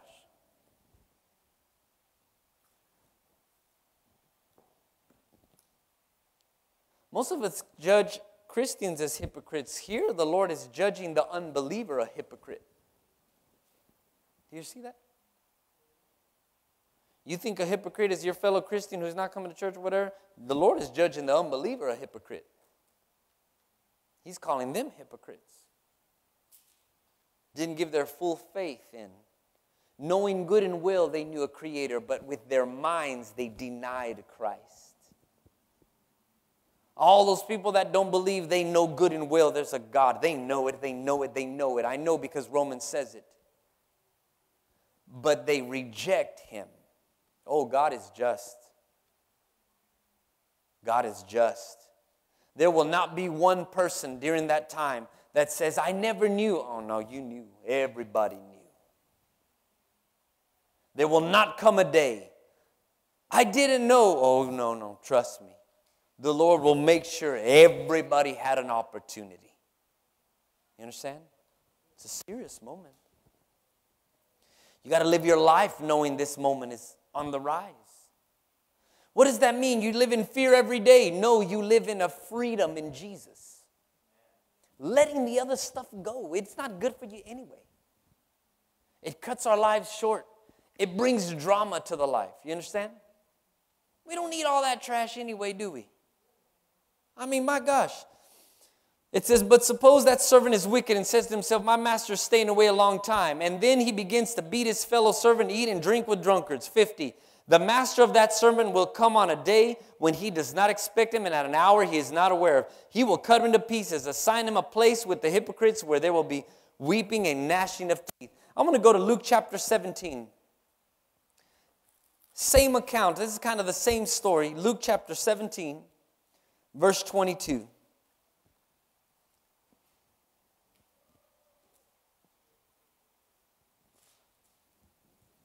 On these type of sermons, I don't expect any amens. Don't need them. The word alone is doing the work. Amen. Yeah, yeah. You know, the word alone, just let him do the work. It's all right if it's a silent in here. It's okay. It's good for meditation, you know. Think about what I'm saying. It's good. It's good. 1722. Look what it says here. When he said to his disciples, The time is coming when you will long to see one of the days of the Son of Man but you will not see it. Men will tell you, There he is. There's going to come a day. Men will say, There he is. There's Jesus. Or, Here he is. The Lord said, There's going to be people like that. Look what he says Do not go running off after them. So when you have people saying, I think I see Jesus, don't go running after him. Wait, here's Jesus. I think I see him here. Don't go running after him. He says, Don't do that. Don't go running and flocking to where they think they just saw me. Don't do it. Why? 24. For the Son of Man in his day will be like lightning. There ain't gonna be no time for discussion. I think I see Jesus. Dude, no, you don't. It's gonna be like lightning in that moment. Wow! You know what I mean? Powerful. No time to react or say, yeah. Whatever you were in that moment, millionth of a second, that's the moment he finds you. Be ready. It says, For the Son of Man in his day will be like lightning. So don't go following just because someone says, I saw Jesus over here. Don't go following over there. It's already wrong. he says, When I come, it's going to be like lightning, which flashes and lights up the sky from one end to the other. That's how it's gonna be. You ain't got time to discuss nothing. Whoa! Done. It says, But first he must suffer many things and be rejected by his own generation. 26. Just as it was in the days of who? So also will it be in the days of the Son of Man. People were eating, drinking, marrying, being given in marriage up to the day Noah entered the ark. Then the flood came and destroyed them all. I mean, all of them. It was the same in the days of Lot. Y'all remember Lot, Abraham, and Lot? He said, same thing. I had to do the same thing back then again. After I destroyed them with a flood, then I had to destroy this whole city. It says people were eating and drinking.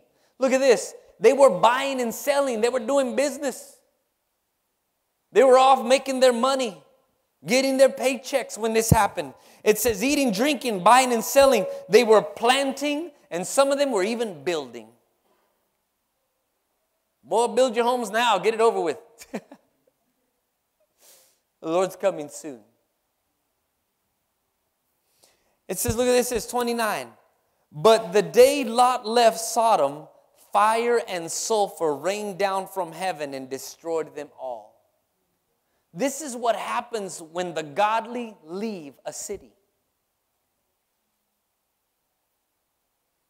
Let me say that again so it'll get you real good.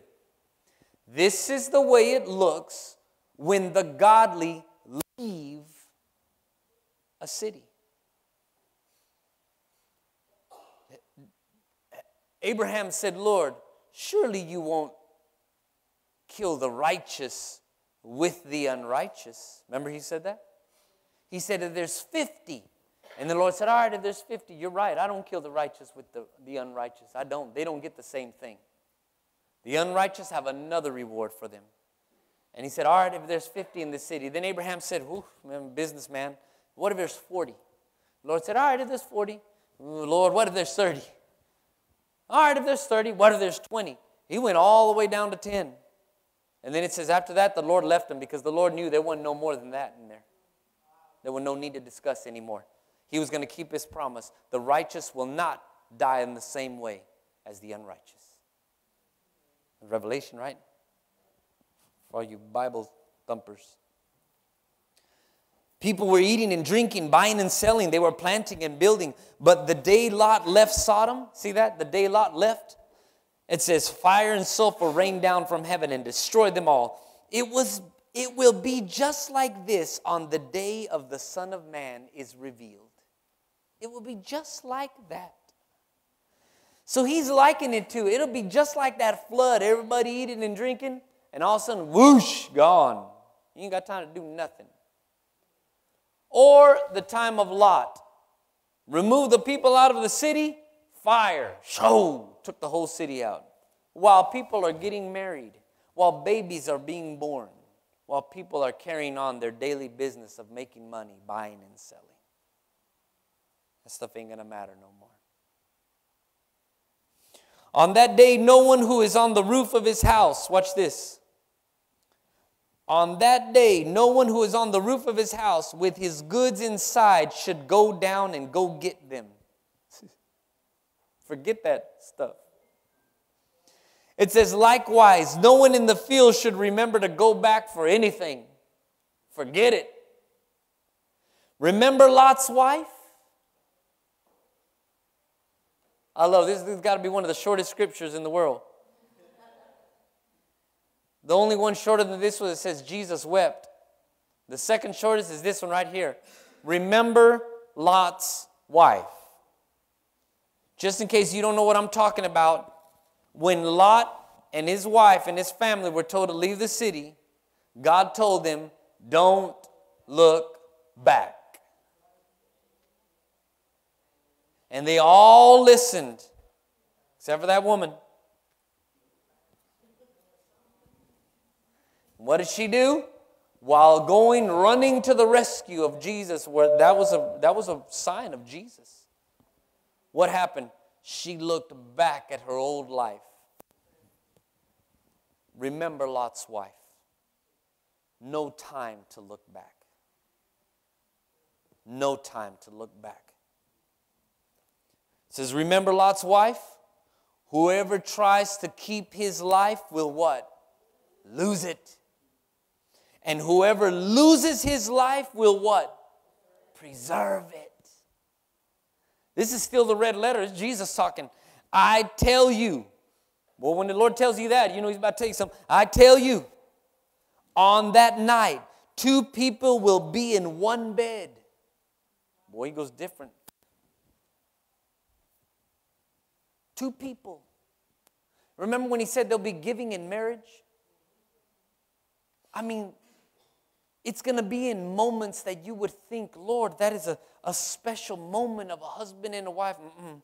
Two of them will be in the bed while giving in marriage, a rightful duty. Look what it says two people will be in the bed, one will be taken and the other left. This is serious. Two women will be grinding grain together. One will be taken and the other left. Where, Lord, they asked, he replied, Where there is a dead body, there the vultures will gather. Man, I'd love to go in on that a little bit. Let you just think about that a little bit. This is serious moments. We have to keep our mind, our, our lives above reproach in a sense that, man, let me not get caught slipping, like they say here in Southside. Don't get caught slipping. Don't get caught slipping in a moment because you don't know when those moments. Live above reproach. Conquer those moments, and before you know it, those very temptations won't be such a temptation because you've learned to conquer it so that when you Jesus does return, you're ready. You're not caught doing something dumb. When Jesus returns, so you're not caught some, saying something dumb. When you're not caught falling into something dumb, you know? I mean, we want to, my gosh. Look what Hebrews 11 says. I just want to show you this quick scripture here. Everybody all right? Oh, the Lord is good and gracious, but man, there is a day coming. Look, watch this. This is the way you got to do it. This is the way you do it right here. Everybody say, by faith. Say, I will live my life by faith. Now, look what it says here. By faith, Noah, when warned about things not yet seen, this is what's happening now. You understand what I'm saying? The Bible is warning us right now of things that we haven't seen yet. Right? It says, by faith, Noah, when he was warned about things not seen, in holy fear, he built an ark to save his what? Family. If anything, when you come to know Jesus Christ, there should be an urgency immediately to save your family. Those ones that you love next to you, the ones you grew up with, the ones that cared for you, they gave up for you, the ones that paid the bills so you could live. You understand? Your family.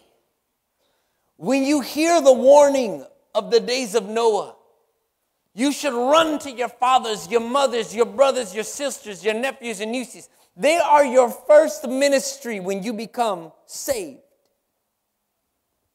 The worst thing you can do is not love your own family and say nothing because it's politically correct. Well, you believe what you believe, and I'm going to do me. You do you, and I'm going to do me. No, that's not what we're here. We're here to compel our family. Don't go to hell. I ain't going to hell. I believe in Jesus. Your life is not showing it. If you ain't tricking me, you definitely can't trick God. But I believe, I say I believe in Jesus. How are you going to judge me? I ain't judging you. You're being judged right now by the word of God. Jesus said you will know them by their fruit. You ain't got no fruit. Even the devils know Jesus, and they still going to hell. Do you understand what I'm saying? This is the kind of thing that, that Noah got on him. It says that he started building a boat when it was drought. In other words, you are going to be preaching a ridiculous thing to people. They will think what you're saying is ridiculous. It'll be an equivalent of trying to build a boat in a desert. They'll look at you like, What are you? You are crazy. You're crazy. I'm trying to tell you so that it won't be on your head. It says that Noah preached to them and they mocked him. They made fun of him. They came down making fun of him, drinking and wine and being merry and all that. You dummy, what are you doing? Why are you acting this way? Come on, come back over here. We were cool. Remember, now you act different. You're away from us. Why ain't you over here with us anymore? Used to be cool back then. used to be cool. We used to all be good. Why do you got to do this? Why you got to separate yourself? Is your God calling you to? God is going to make you go do something dumb like this? This is the kind of accusations you will get. It will be the same as in the day of Noah. You will be made fun of. You will be ridiculed by your own family, by your own neighbors. But Noah did not care because he had the fear of the message that was told to him. And what did he do? Sons, this is what's going to happen. Daddy, you sound crazy. I know I sound crazy, but you're going to be right here with me. You're going to help me build this boat. Dad, come on, man. Boy, listen to me. Boy, you got to get that old man strength on you. Boy, you listen to me, you know. Just get in here. I said, get in here. Do like the Hispanics pull out that whip. Get in there, boy. You know what I mean? You got to compel. Get them in. They don't know any better. This is the kind of preaching you got to give your people. Why? Because you were given a message and a holy come on you in this message. I got to save my children. I, this is not the time to go easy and, well, I don't want to offend them. This is not the time anymore. You don't know when Jesus is coming. You understand? This is the time the Holy Spirit is drawing. He's bringing people in. You're going to see people that have been away from the Lord for a long time, and all of a sudden they're going to be asking you questions. You got to pick up on that stuff. Bring them in, bring them in. If you got to leave wherever you're at, go wherever you come on in. You got to bring them in. You got to compel them. You will have brothers and sisters and family members that have ever asked you about Jesus, and all of a sudden you're going to hear the one question, and your ear's going to pop up. And I pray that you remember this time that that holy fear will come on you. Save all that you can. We are in the days of Noah. It says, in holy fear, he built an ark to save his family. Did you hear that scripture that Sister Nina gave out earlier? If you don't know how to take, out of your, uh, take care of your own household, you're worse than an infidel, it says.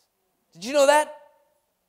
If you ain't even trying to work your own family, you're worse than an unbeliever. Even unbelievers know how to take care of their own families.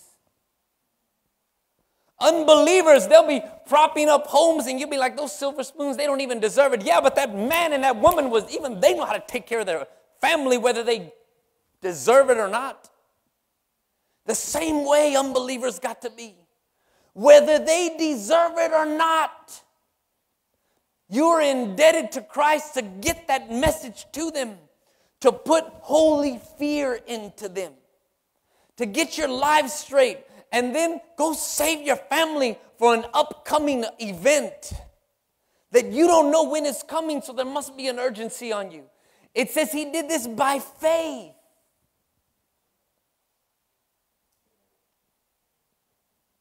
By faith. And look what it says here. It goes even further. By his faith, he condemned the world. I love it because You don't even have to use the faith of God given you. You can use your own faith and make a decision. Make it come in agreement with the faith of God that comes by the, by the gifts of the Spirit. Use, I mean, use your own reckoning here. Ration it out in yourself and say, you know what, man? I think Pastor Tim's on to something here. Let me quit doing this because I don't know. If I keep doing this, I may just keep it, allow it going in my life. And before you know it, it's going to be two, three years, four years, five years. And then before you know it, Jesus comes in that moment and you still ain't kicked that thing. Deal with it now. Golly. By his faith, by Noah's faith, he condemned the world and became the heir of the righteousness that comes by faith. Look how many times faith is mentioned in there. By faith, Noah warned. By the faith, he condemned the world. And by faith, he became righteous in the sight of God. By faith, he warned the world. By faith, he saved his family and condemned the world. And by faith, he was considered righteous. Man, can you hear what I'm saying? Oh, hear what I'm saying. By faith, he warned people. You got to do that by faith. Do you know what it feels like when your flesh is dealing with you dealing uh, having faith? Don't you ever wonder why the flesh don't like faith? Because faith doesn't exactly know. Faith just believes. Doesn't it talk? It takes faith for you to go talk to someone about the gospel, doesn't it? Because your flesh is like, ooh, I don't know, what do they say no? What do they say? What do they start judging me, right? Your flesh all up in an uproar. That's because you don't spread the gospel with your flesh. You spread it by faith. You got to conquer those things and just say, you know what, let me just get out here and say something. It takes courage. No wonder Revelation says that the cowardly will not inherit the kingdom of heaven. It's going to be those that have courage to speak and warn and give truth. And we do it by faith. Speaking up here today to you, I do it by faith. I will get ridiculed. I will get told things, especially me working in government. I'm telling you, they got all kinds of ideas. But I must use my faith to stand in the holy fear that I'm in right now. Amen. Last scripture, go to 1 Peter 3:18. Man. Oh, let this ring in your Father, let it ring in our spirits, Father, in our souls, Lord. Oh, Father, let us not forget, Father, that it's all about this moment here, Lord. This is the moment we're talking about. I love the Holy Ghost. I love being in the glory. I love in the basking in the presence of the Lord. But when there is no time, when you're not in those moments, you are out giving your life to these things, preparing these people. You're building an ark of salvation. And the first ones you should be speaking to is your family. Look what it says here. For Christ died for sins once for all, the righteous for the unrighteous. He was the righteous and we were the unrighteous. To bring you to God. That's what he did. He gave up ridicule. He was slapped. He was beaten. He was made fun of. He was ridiculed. Oh, if you're who you are, come down from there now. Oh, he was made a joke. But he gave up the, the righteous for the unrighteous. That's what you do. You give up yourselves for the sake of others. It says to bring them to God. That's what you're supposed to do. If you don't know how to do it, keep coming to church so you can work on it. If you still don't know how to do it, just invite them here. We'll work on them for you. You understand? Just get them here. Promise them a Whataburger afterwards. Get them here. Buy lunch for them afterwards. Man, I'll buy you lunch. Just come on, just come. That's what needs to be done. We're in the days of Noah. It says, He was put to death in the body, but made alive by the what? Spirit. 19. Through whom also He went and preached to the spirits in what? Prison. 20. Who disobeyed long ago. They disobeyed long ago when God waited patiently in the days of who? Noah. Oh, he was patient. You think it took forever to build that ark? No, the Lord was being patient. Noah, just work on the bottom half today. Just work on this one section today. Go and enjoy yourself. He was being very patient. He gave plenty of time. There will be nobody in those last days saying, I didn't know. Mm-mm, the Lord was patient. It said he waited patiently in the days of Noah while the ark was being built. So while the Lord is preparing a place for us, while we're out there gaining the family that we can while this ark is being prepared, your job is to bring people into the ark of salvation. Just come in. Just come in in the hopes that if you walk out fine, but at least I got you in here and you, you, you had to choose to walk out. Do you understand? Because there will be a time when the hand of the Lord finally closes that door and that opportunity won't be there anymore. Do you understand what I'm saying? It says, it's going to be, he's waited patiently in the days of Noah while the ark was being built. In it, only a few people, eight in all, were saved through what? You see, the water that destroyed one saved the other. The fire that destroys one will be the fire that purifies the other. You understand what I'm saying? That's why we don't have to fear because the judgment that goes on them will be the blessing for us. Where they drowned, we were baptized. You understand what I'm saying? In it, only a few people, eight in all, were saved through water. Verse 21. And this water symbolizes what? That now saves who? You also. Not the removal of dirt from your body, but the pledge of a good conscience towards God. When you get baptized, you are making a vow with God. You are pledging to have a clean conscience. I'm not going to cuss. I'm not going to do dirty business. I'm not going to cheat, steal. I'm going to honor God. Everything that I do will be to honor God. I will serve others. I will serve my church. I will tell others about what Jesus has done in my life. I will invite people to church. I'm going to quit my old ways. I'm not going to speak the way I spoke anymore. I'm not going to make decisions the way I decided I used to a long ago. I'm not part of Southside anymore, so I don't think it's cool anymore. I'm not in the hood. I'm out in the kingdom. I don't have nothing to do with this area anymore. I'm a passerby. I'm nothing like them anymore. I was once from them, but now I've been found, and I'm not like that anymore. Totally changed. I keep a good conscience towards God. It's my pledge to Him when I went down in that water. It's the pledge. You understand? It saves you by the resurrection of Jesus Christ. 22.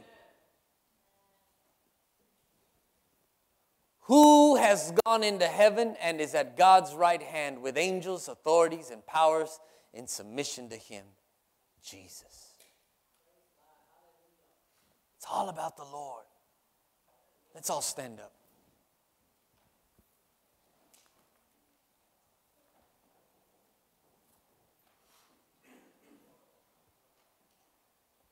Save your families.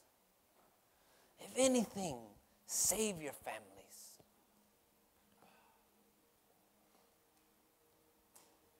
If you want to receive Jesus today, just come on up here. Ain't no time to waste. If you want to receive Jesus today, just come on up here.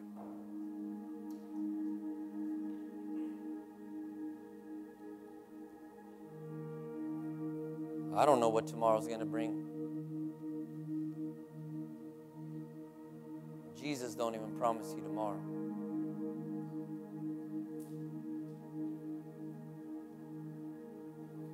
Thank you, Lord. Thank you, Father. Press on the heart, Lord. Press on the heart, Lord.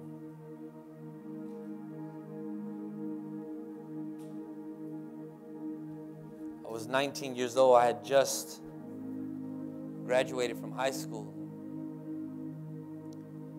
Remember I got a job at the Botanic Gardens. And it was just cleaning the outside and restrooms and setting up rooms. And I just thought it was a good job. And I remember I was headed, headed out to the Japanese gardens. If y'all know Botanic Gardens, I was headed up the hill and I was in a little cart because I was going to go clean the restrooms up there. And I stopped and I saw a friend. I just graduated with him. I, I, I, he was a Christian friend. His name was Matt. His name was Matt, Matthew. I remember I, I saw Matthew and everything in me. He was a good friend. And everything in me, mad. I wanted to call out.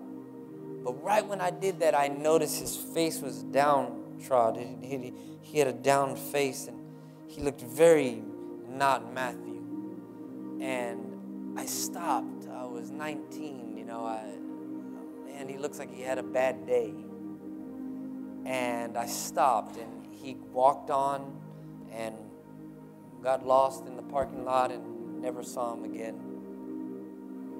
A week later, I got news that his father found that he had shot himself under the covers. Don't let time go by.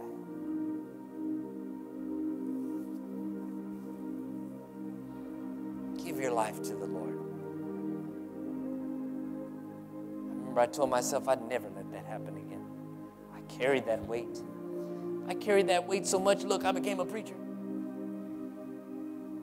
And I'm telling you, there ain't nothing special about me. All I am is a man that I fear the Lord now. I got a revelation of the Lord. I fear Him. Oh, I invite the fear of the Lord in this place. I invite the fear of the Lord in this place. Proverbs says the fear of the Lord is the beginning of wisdom. Don't you tell me that I, yeah. Don't tell me I'm in the wrong. Don't tell me when I fear God. It's the beginning of wisdom. Anybody want to dedicate their life, give their life to Jesus? Come on up. Come on up. Just come on up. I'm already up here by myself.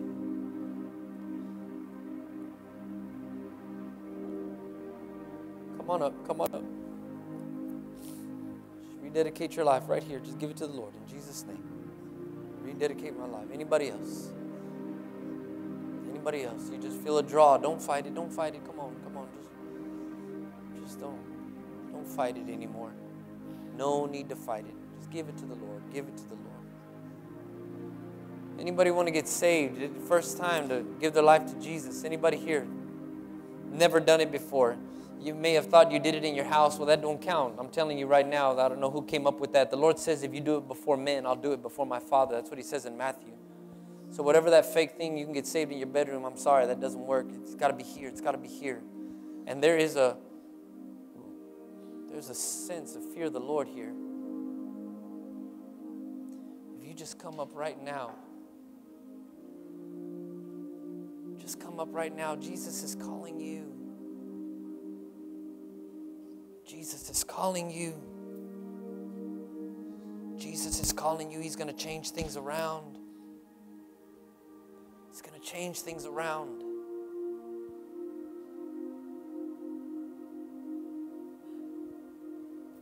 Rededicate your life.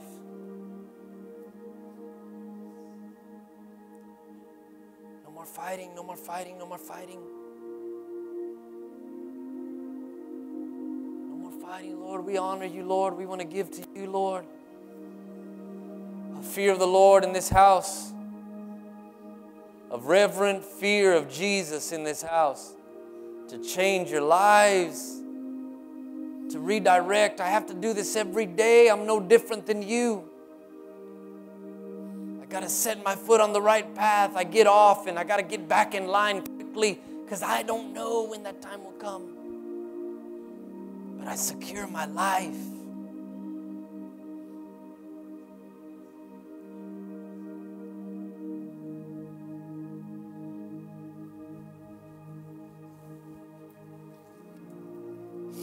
I'm going to pray over you right now. I pray an anointing for you to go to your families right now in Jesus' name.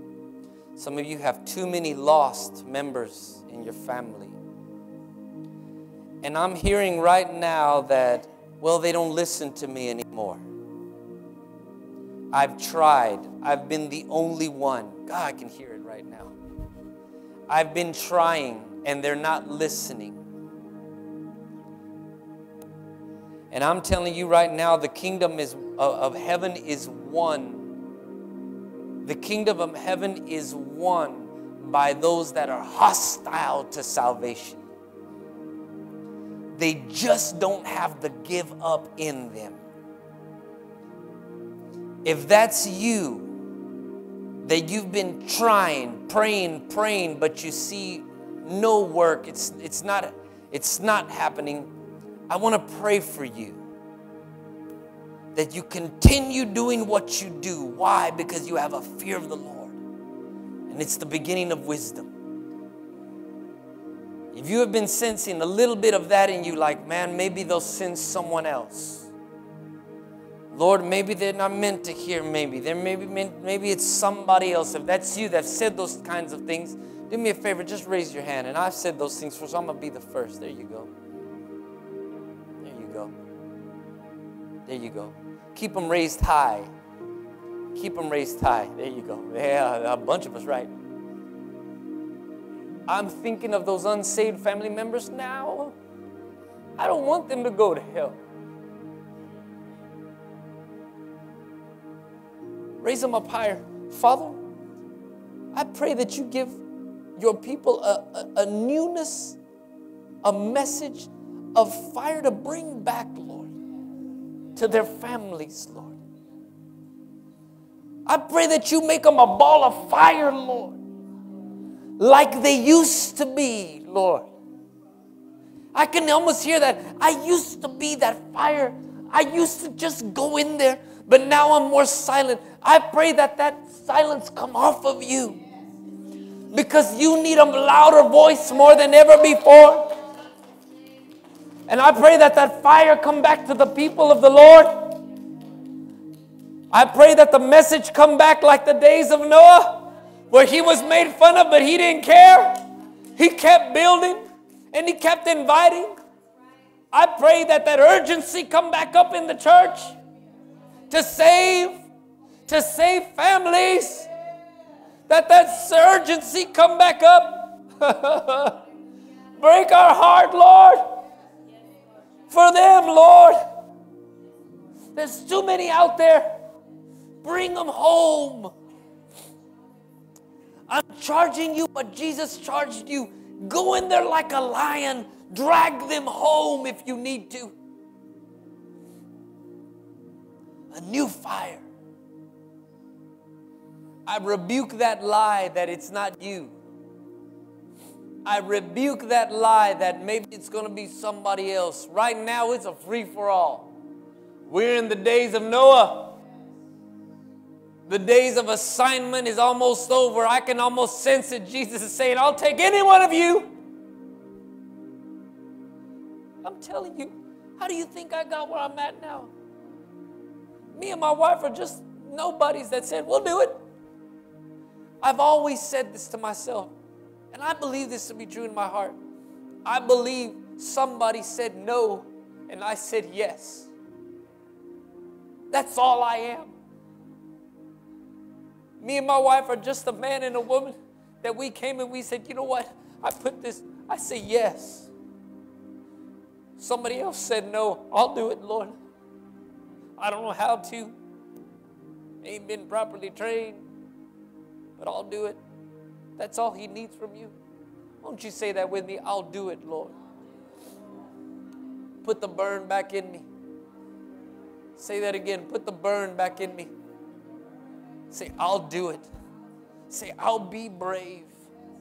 Say, I'll be courageous. I'll do it, Lord. Here I am. Use me. My calling is still very much alive. Say that. I haven't lost anything. Now's the time. In Jesus' name. Amen. You dedicate your life to the Lord. Just hallelujah. Say, I come back to you, Jesus. Forgive me that I left you. I don't want to be that wishy-washy. Say, I rebuke wishy-washy out of me. Say it again. I rebuke wishy-washy out of me. In the name of Jesus, I submit my life to you. I'm not going to come in and out of my flesh. I will remain in the spirit. I stay right here under your wings, under your calling. Say, I rededicate my life. In Jesus' name. Amen. Yes. Yes, please.